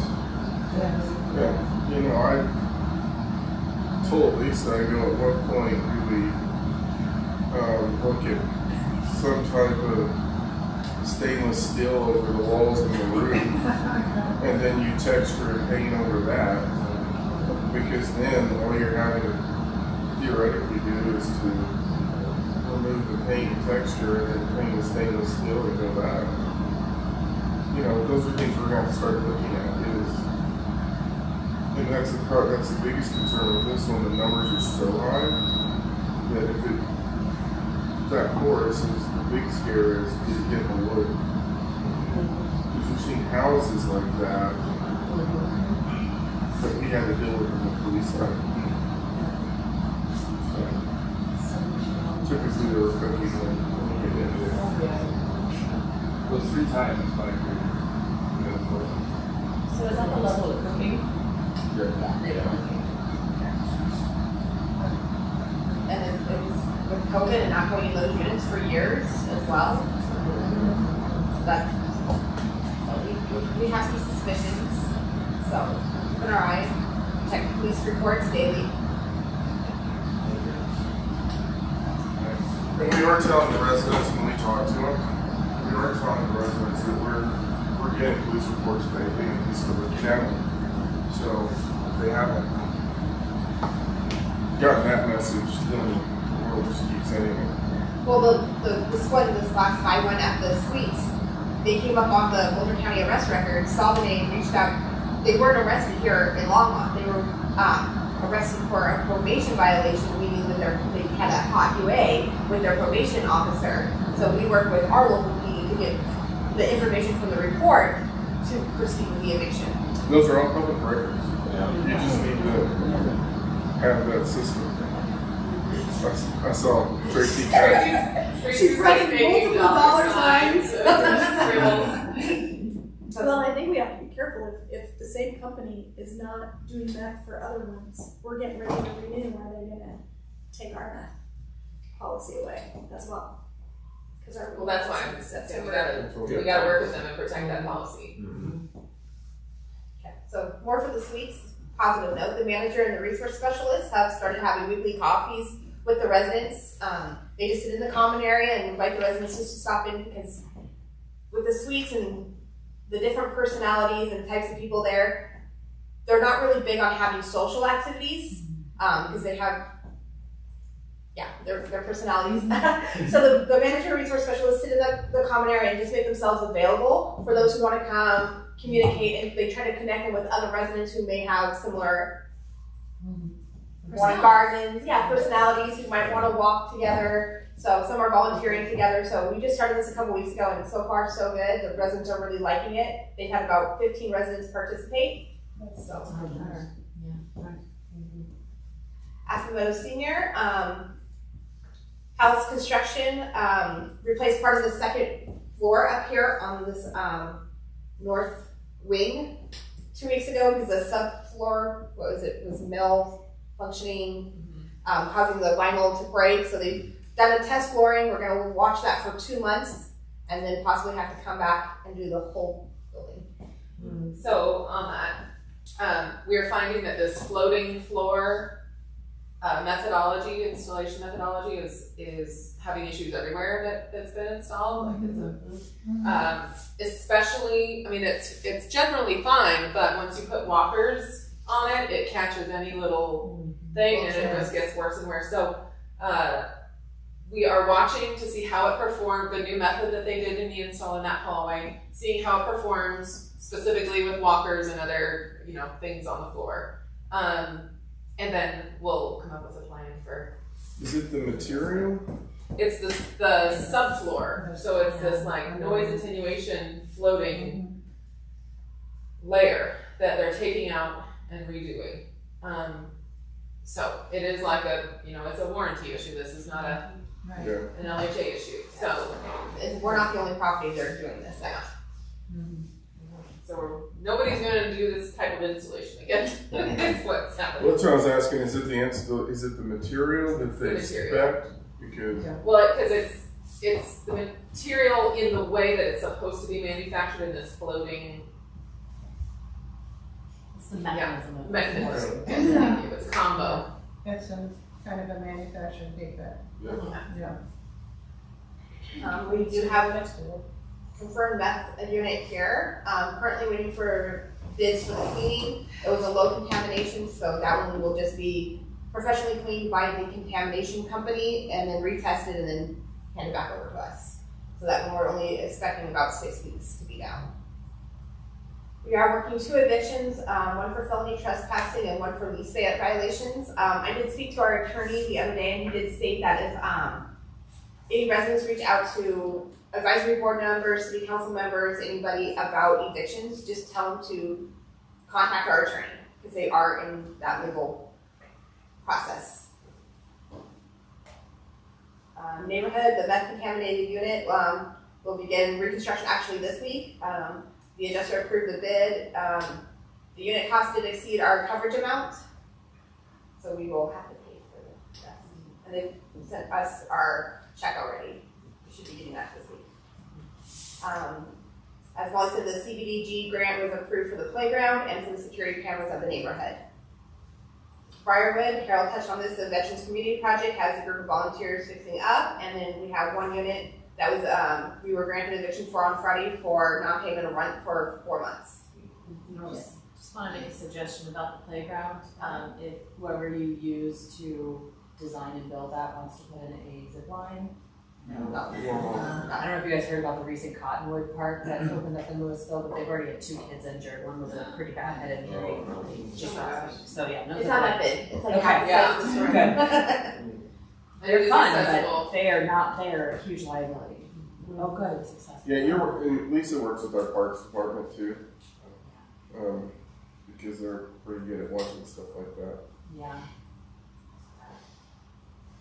um, Village Place, Kat McNeil, she's the former manager of Spring Creek and Fall River, is transferring over, transitioning over to Village Place. Um, we have kind of an eight week transition worked out, so the residents at Fall River, Spring Creek don't feel like she just up and left them, because I know that's been some shaky ground over there. They really feel that they've been abandoned by everybody, so. That's day one. Yeah. Yeah.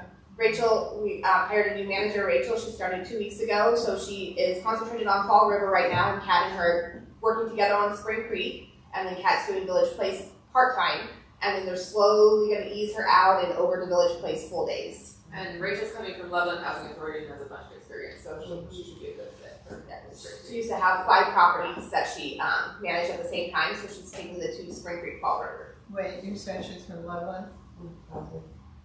Pardon me, I'm a little leery. They'll wish you well. But we had two Loveland people and they ruined us. So I, Who was that? I, um, that was Luffy and, um, the gal that stole the five thousand. Right. Yeah, Can't remember her name. and, I, um, That was the old days. It, yeah, but they were both from Loveland, and I'm like, okay, felt like a conspiracy to ruin it. so, um, just get her indoctrinated with one night. I, uh, yes, and we are pretty confident, we, we feel like we made some good hires recently, so. Well, Loveland got new directors Yeah, Loveland's- recently, so they've kind of had a bit of a changeover too. There okay. They have a new ED. I feel better now. Yeah, Yeah. yeah. Yeah.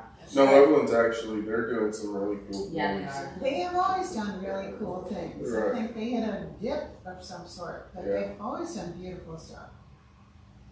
So, I'm, I am. We'll give her a chance. I'm- Oh, yes, yeah. I'm just gonna be looking twice. Forgive but never forget. I totally forget. Yeah. Uh, let it prove herself. right? Spring Creek, we are addressing a meth contaminated unit there too. It was another lower scale, um, just required the testing, the cleaning, and then a retest. So we're hoping to have, we're pending the final testing results on that unit, so we're hoping to have that unit back in our, um, inventory in the next week, as soon as those test results come in. Um, in lieu of coffee conversations, we had an ice cream social. Um, fire department was supposed to attend, but they got on a call, so they did not attend, so we just had a elongated, um, coff- um, ice cream social there. Um, new manager, Rachel, like I said, hired, um, and Kat's transitioning over to Village Place, and then we got the CDBG grant for the security cameras at Spring Creek as well. Um, Fall River, the new manager, same thing, the CBG grant for the cameras there. And then we had one resident that we were granted eviction for on Friday for, um, non-payment of rent for multiple months. Lisa, Yes. I have a question, and this actually came up when I was doing interviews over there, and I went by this morning just to double check. I believe this is a resident that lives there with the truck, Mm-hmm. and And the trailer. got all of that mess He's been posted by the attorney, so he is, um, I think he's scheduled for court not this, not the, maybe July first. Trying to think, cause I have, we're only allowed two cases a week, so I have, I have like eight pending. So he, he is, he's been posted, he's been served multiple notices, he's had, we've already posted the ten day for possession, so. And I, I've actually swing by there on a regular basis and had multiple photos. I sent Lisa some photos of where it was worse than it normally is, so late at night, it gets worse, and then Yeah. problem is that it's now made its way to the picnic table Yeah. that's adjacent to it, and so we're going through the process. Plus the. In the front door area. Place, yeah. Yeah, yeah. Yeah, Yeah, so 'cause he has the motorcycle actually is his too, that, so he has all that area, and multiple times my maintenance guys have disposed of the items.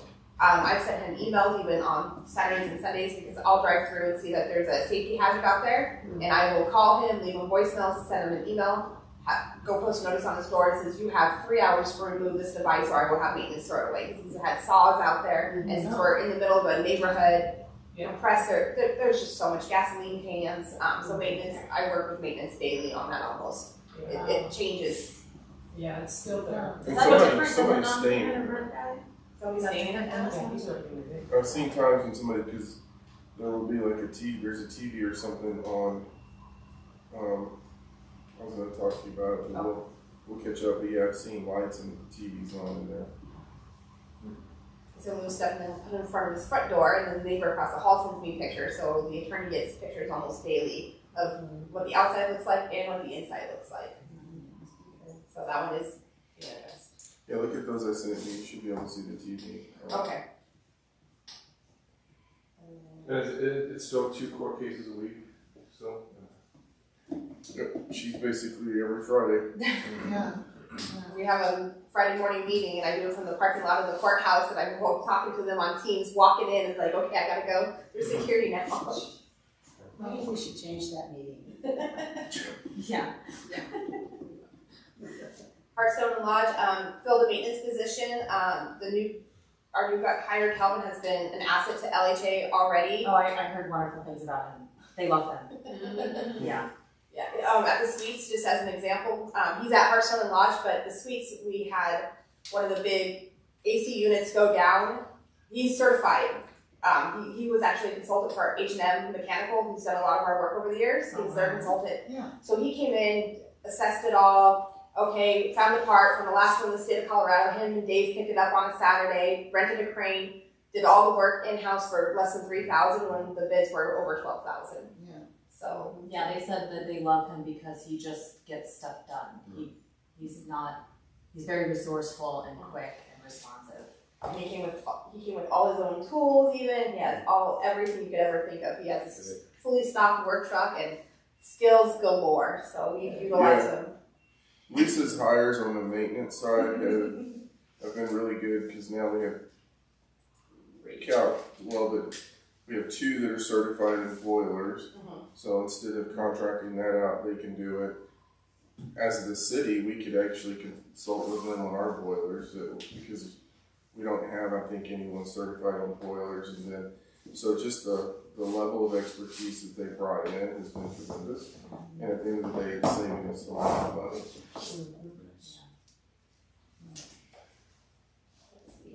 Um, Hearthstone, we had two elevator contracts. Um, probably brought came up in budget meetings before. We had two elevator contracts last year. It's been fighting tooth and nail to get that second one canceled. We just got that canceled last week. Um, got a grant for the security cameras there and a grant for the parking lot repairs. The Hearthstone we do have, it's not on here. The elevator has been down for a week, but it should be up to date. Up to date. They tracked down the part that went missing via FedEx, but Did they get it? they have it. They says, the company says they have it, so they're supposed to be there this morning to start the repairs. We've tried Mickey Mouse repairs, we've tried everything, they tried to fix the current, it was a board that was out, unfortunately not manufactured anymore. They tried to repair our board, ordered a new one, got lost. But hopefully up to date. Lodge, the grant for the cameras and the grant for the parking lot repairs. Um, in the the open positions we have, we are still looking to um, open the custodian position that will replace our contracted custodial. We're actually working to move that in the city's hiring process. That position we posted last October. It's just been on Indeed and other forums. Um, I'm working with the city right now to bring it under them so that we can hopefully streamline the hiring process and get that in faster. Because it should not take us that long to hire a custodian. Um, we are recruiting still for an assistant manager for the LHA tax credit properties, which will help fill in a gap here at Aspen Meadows and probably Village Place and a few other properties. We have one right now, but we need the second one to replace Aaron Robinson. And then we, um, our building attendant positions went live last week, which is to replace the suite security. Which currently we do not have security at the suites. But our maintenance team is stepping it up and doing, every time they have an on-call after hours and on the weekends, they're going over and doing a sweep of the grounds, put an eyes on it, we've asked for extra patrol through the police in the meantime. Alright, on to uh, age receivables. Uh, so, um, we've made some progress from March to April. Um, but right now, my accountant is taking any of the past residents that have balances due and monitoring that first letters went out, second letters went out, and then once the third letters went out, basically saying we're turning you over to collections. Um, determining what that threshold is still needs to happen, and I don't think we've done that. Like, if it's a hundred dollars, that's, that's more of a write-off than actually sending it to collections. Um, so that's something we probably wanna add. Um, but my error was a keying error. I had added too much into the Aspen Meadows neighborhood. The last meeting, you had a, the question about it not matching the financials, and that was just me putting an additional amount in there. Um, so I'll make sure I double check that. Um, other than that, um, the managers are doing their delinquency reports on any current residents, um, but we're monitoring and tracking. And then Heather has also started now that we're in our summer mode and her audit's over. that um, she has started looking at all the other tenants. She's been working on the suites with Corinne and stuff like that to actually take a look at those ledgers. A lot of what was happening is it's just on the wrong side. It's, you know, charged the subsidy or, or vice versa. But you have to do the corrections to get it on the right ledgers. Um, and we found that when we wrote off the old past tenants, it caused chaos in the system because that is what was occurring. So, um, so that's. Does anybody have any questions on the age receivable? I mean, you're going to see some amounts start going up because of the meth, meth units, um, Aspen Meadows neighborhood, and you know all the ones that were mentioned. They're going to get those charges back to them.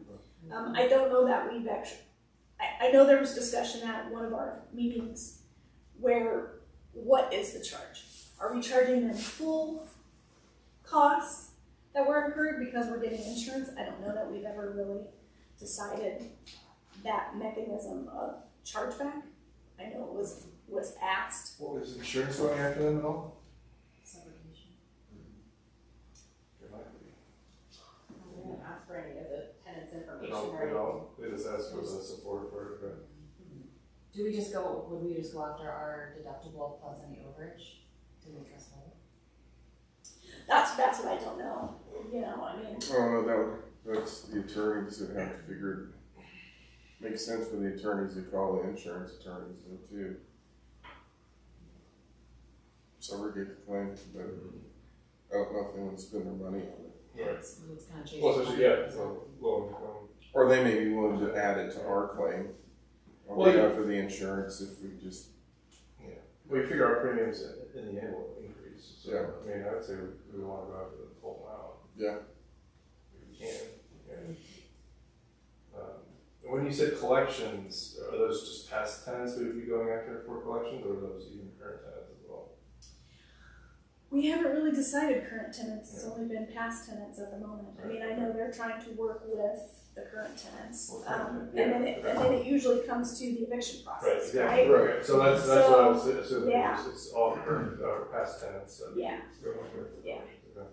and try to get payment plans if we can Right. um, for those current tenants if they're having issues, or get them resources for additional subsidy if, if they can get it. Um, so part of it is they are partnering with different organizations and trying to catch people up. But in the catch up, they're also evaluating whether or not they can stay caught up. And so even some of the partner organizations may or may not assist an individual if they don't feel like they can stay caught up once they baseline. So there's another piece to that conversation. Okay, you got your current rent plus any past due rent. Right, and they'll, and they'll catch them up Yeah, if they think they can stay current once they catch them up. But there's been some conversations on some that they're like, yeah, we don't even, we'll just be back in this in X months, and so.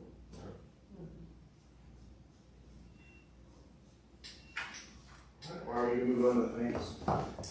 So, um, so there's a couple properties, both Aspen Meadows neighborhood and Spring Creek, where we're over the vacancy, the dollars that was budgeted. Um, some of that is due to, um, I don't know about Spring Creek for sure, but definitely Aspen Meadows neighborhood is due to the meth unit that has been uninhabitable for a considerable amount of time. Um, so see concerns there. The other concern was obviously snow removal. We went over budget. Um, and in some properties, not all. Um, we are also um, kind of getting close because we haven't hired. Our intention was to have a custodian in-house sooner than later, and so since we had to do third-party organizations, we're getting to a point where we're also going to be going over budget in that area if we don't get a custodian hired soon. Um, because we didn't accommodate for the price that comes from a third-party vendor. Are you just moving that to a city position? Yeah, well, because we posted it last October before we were incorporated with the city. So I'm working with um, Emily over there to get through the whole unit system. Okay. So it's still an LHA position, but it's just. Yeah, sorry, yeah. Okay. And those are individual items that we're seeing go over budget in total. We're not over budget annually, um, but those are some of the situations that, that we're seeing, um, on the financials. So Kendra, on six fifteen Main, Yes, that utility expense is quite. that's an error. Um, Oh, there yes, I saw that, and I actually text, texted my account, and I go, I think I did something wrong here. Um, it should be down. So that is actually the maintenance expense, and that's actually, most of that is majority snow removal. So, um, you shouldn't see any tenant services expense. That three twenty-nine is actually what the utility is. Um, cause we did find that within the lease for six fifteen Main, they were supposed to actually have utilities in their name, and they never did. So there's probably a little portion of that that was paid by us until they got their utilities switched over, so. That's there for, Senator, yeah. yeah. We pass on all those costs to them, or do we bear some of those costs? Um, it should be in tenant income. I know that, I know that, um, Heather for this year, so it didn't happen in the prior years, because we couldn't do that. Um, but this year, anything that came, that they had got switched over, got charged back to them on their. even snow removal, maybe they can, No, see, in their contract, it says that we pay for the snow removal. So that is where it's, Yeah, yeah, so we're not, yeah. that's not typical. no, Yeah, so But we that's, share the drive with Village Place. Their main driveway is Village Place off of Main. And so it's just that main drive, they don't, they're not doing snow removal in spaces, so because it's shared, that's probably why. It's just, yeah, it's just that, Doing their sidewalks, so it's just the one right in front of the parking spaces. Like, loop around the front. the sidewalk. Have them do their own sidewalk in the next lease. Well, they're asking for it now, we just emailed this weekend. they wanna buy it, They, they wanna know what their options are, because we did tell them we would come back to them in June with the options.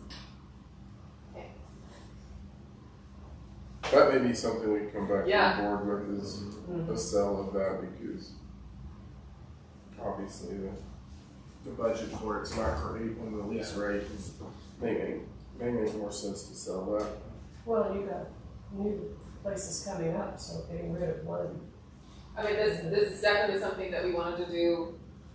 It's part of this education, or at least to make sure that we've been tracking down old That's stuff. why we're waiting. Yep, 'cause so we've got, we've got some interesting title reports.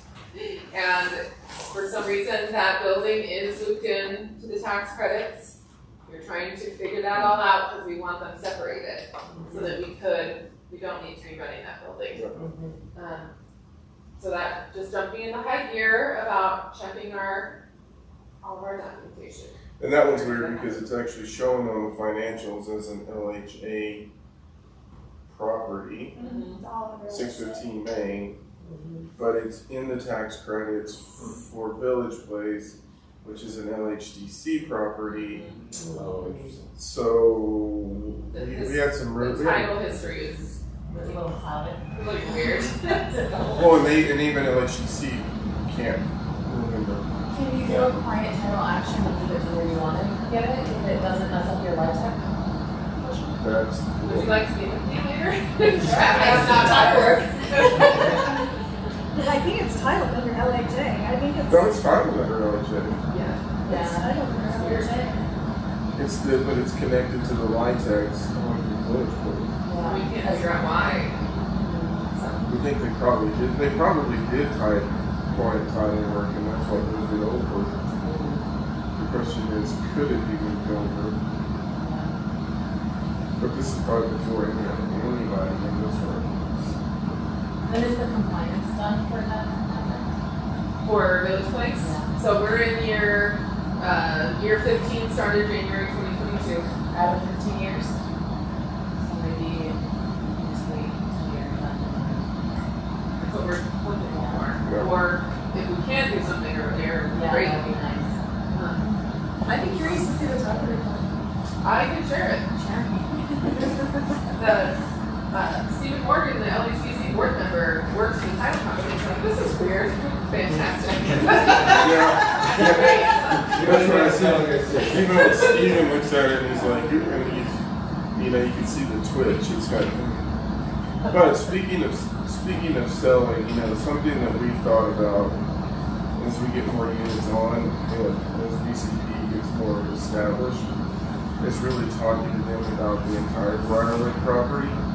Um, because there's an affinity and mission in that, you know, if they're building the 26 tiny homes to house homeless vets, and we can, as we're bringing new units on, can relocate or maybe contract with them to fill the homeless vets that they manage as we have vacancies and then look at a point where we can sell to them. That may start making a lot of sense because they're, they're all trying to house the same population generally, and so we think that may help from a cash flow standpoint and, and an operational piece. And we've been interested, um, the executive director wants to meet with me, so I'll include quality in that.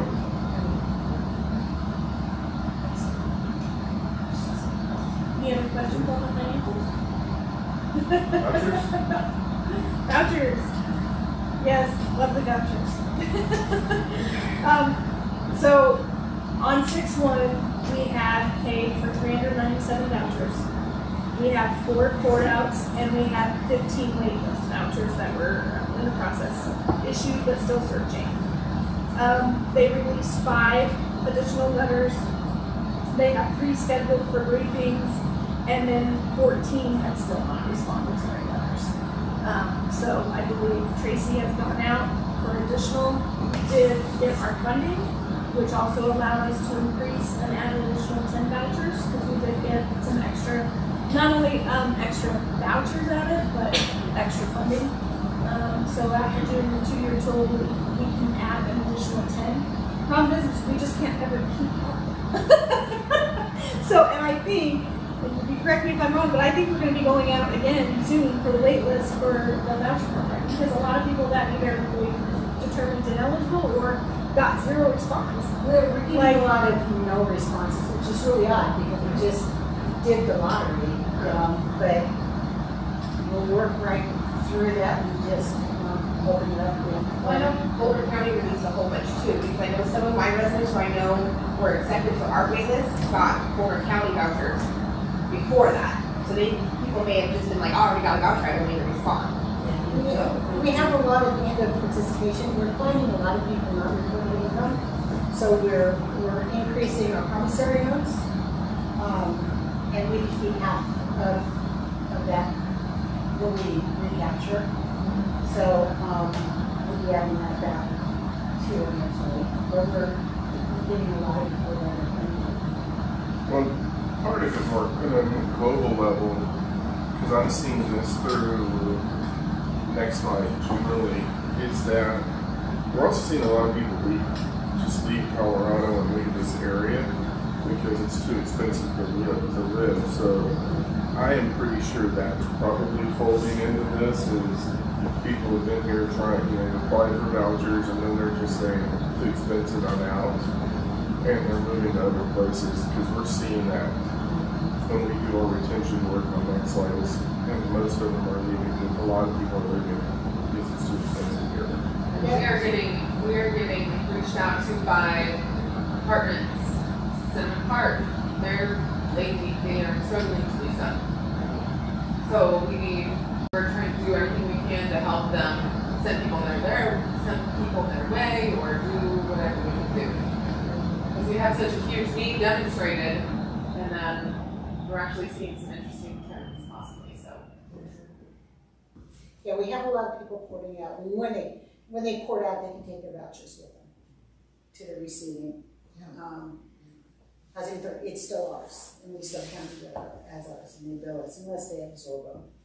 So, um, we're seeing a lot of people port out. Do we know where? We, I, we can, we can show up, on, on Yardi, it shows who. That would be good to know we're where. But we'll probably go out and since we're gonna get some more vouchers, we'll probably, um, contact the next ten people to get geared up. How often do you refresh and purge the wait list? Yearly now. Um, yeah, and we only selected hundred and fifty. We have a lot of hundred.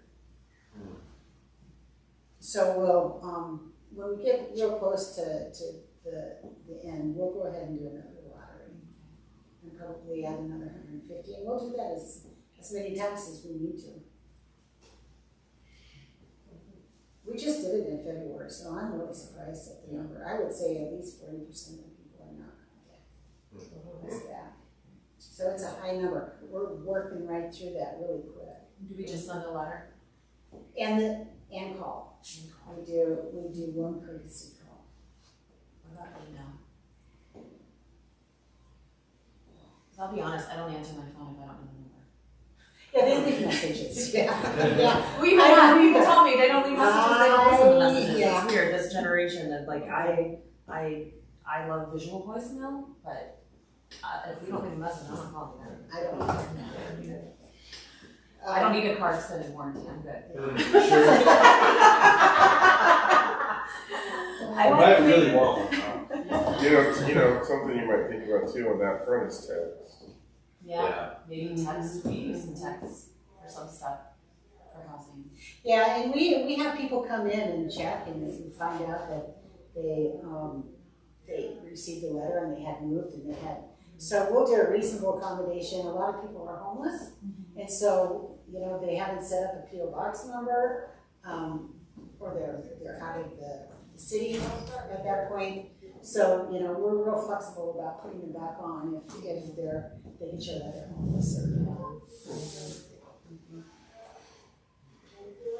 Anything else, uh, update from executive director? Anything else? I think I jumped in through all of theirs, so I'm good. Alright, nine, other business? Yes?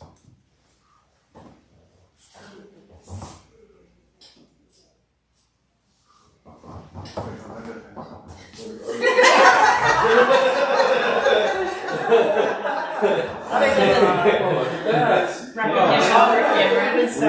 wish to thank you for all the years of service you uh, contributed to the Longmont Housing Authority as a commissioner and now as an advisory board member. Um, You're a great miss. It's like a yearbook. It feels like hundred and fifty years sometimes. Well, I appreciate it. I'm sorry to, to, uh, to cut and run, but, um, it's been a, it's been a journey and I'm glad to be part of it. so. And I'm really excited with the direction it's taken since I stepped, getting the charge. Right? Well, it's nice to see things. Go through a rocky patch and then actually come out good on the other side. Better than I ever saw it. so. Yeah, you're leaving on the upside. Yeah. Yeah, It's a good time. yeah, you've been through the trenches. Yeah. Well, thank you all. This is, this is wonderful.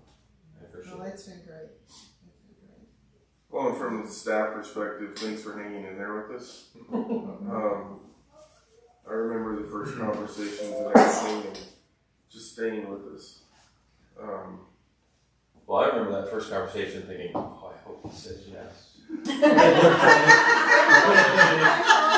he says no, I don't know what we're gonna You have no idea how many prayers behind you, okay? what you didn't realize is that afterwards, um, and I can still visually see where we were all sitting in the conference room after you left, and it was a deer in the headlights look, and Right. Kathy, and Karen, and I, none of us wanted to do this. I mean, I think that's the, but I think we all realized we had to do it, and that's when we just said, we can't fail now. Yeah. And, um, but I think you all hanging with us through this, um, and Arlene coming on in the middle of it. Right. Yeah. Um, Didn't know what you were getting into. but all of you, but but just being there, you know, that first run, I can't tell you how many times I'd call Cameron and go, "This is going on. Here's what's happening," and then Mm-hmm. I remember a conversation we had. I was at home, and you said, "Well, I think it was when you became chair," and you go, "Oh, so my wife just wants to know: is it going to be more than it is?" and uh, I said, "No. Hopefully, it'll be less than it was." Um, and so, just thanks because um, I know we, we were we taxed you early on. Yeah, it was, So- it was, good work, so. It's good to be a part of this group. Yep. And now they're doing amazing work. Absolutely. Maybe we can put a bench at one of the new properties in his honor. Hmm. Help me see it, see it through. Well, we have new benches here, we put a little, little. You Put a plaque on the toilet paper display.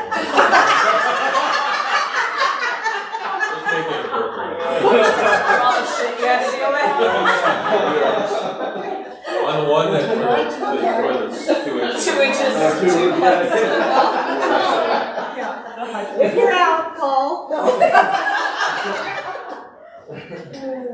That's good.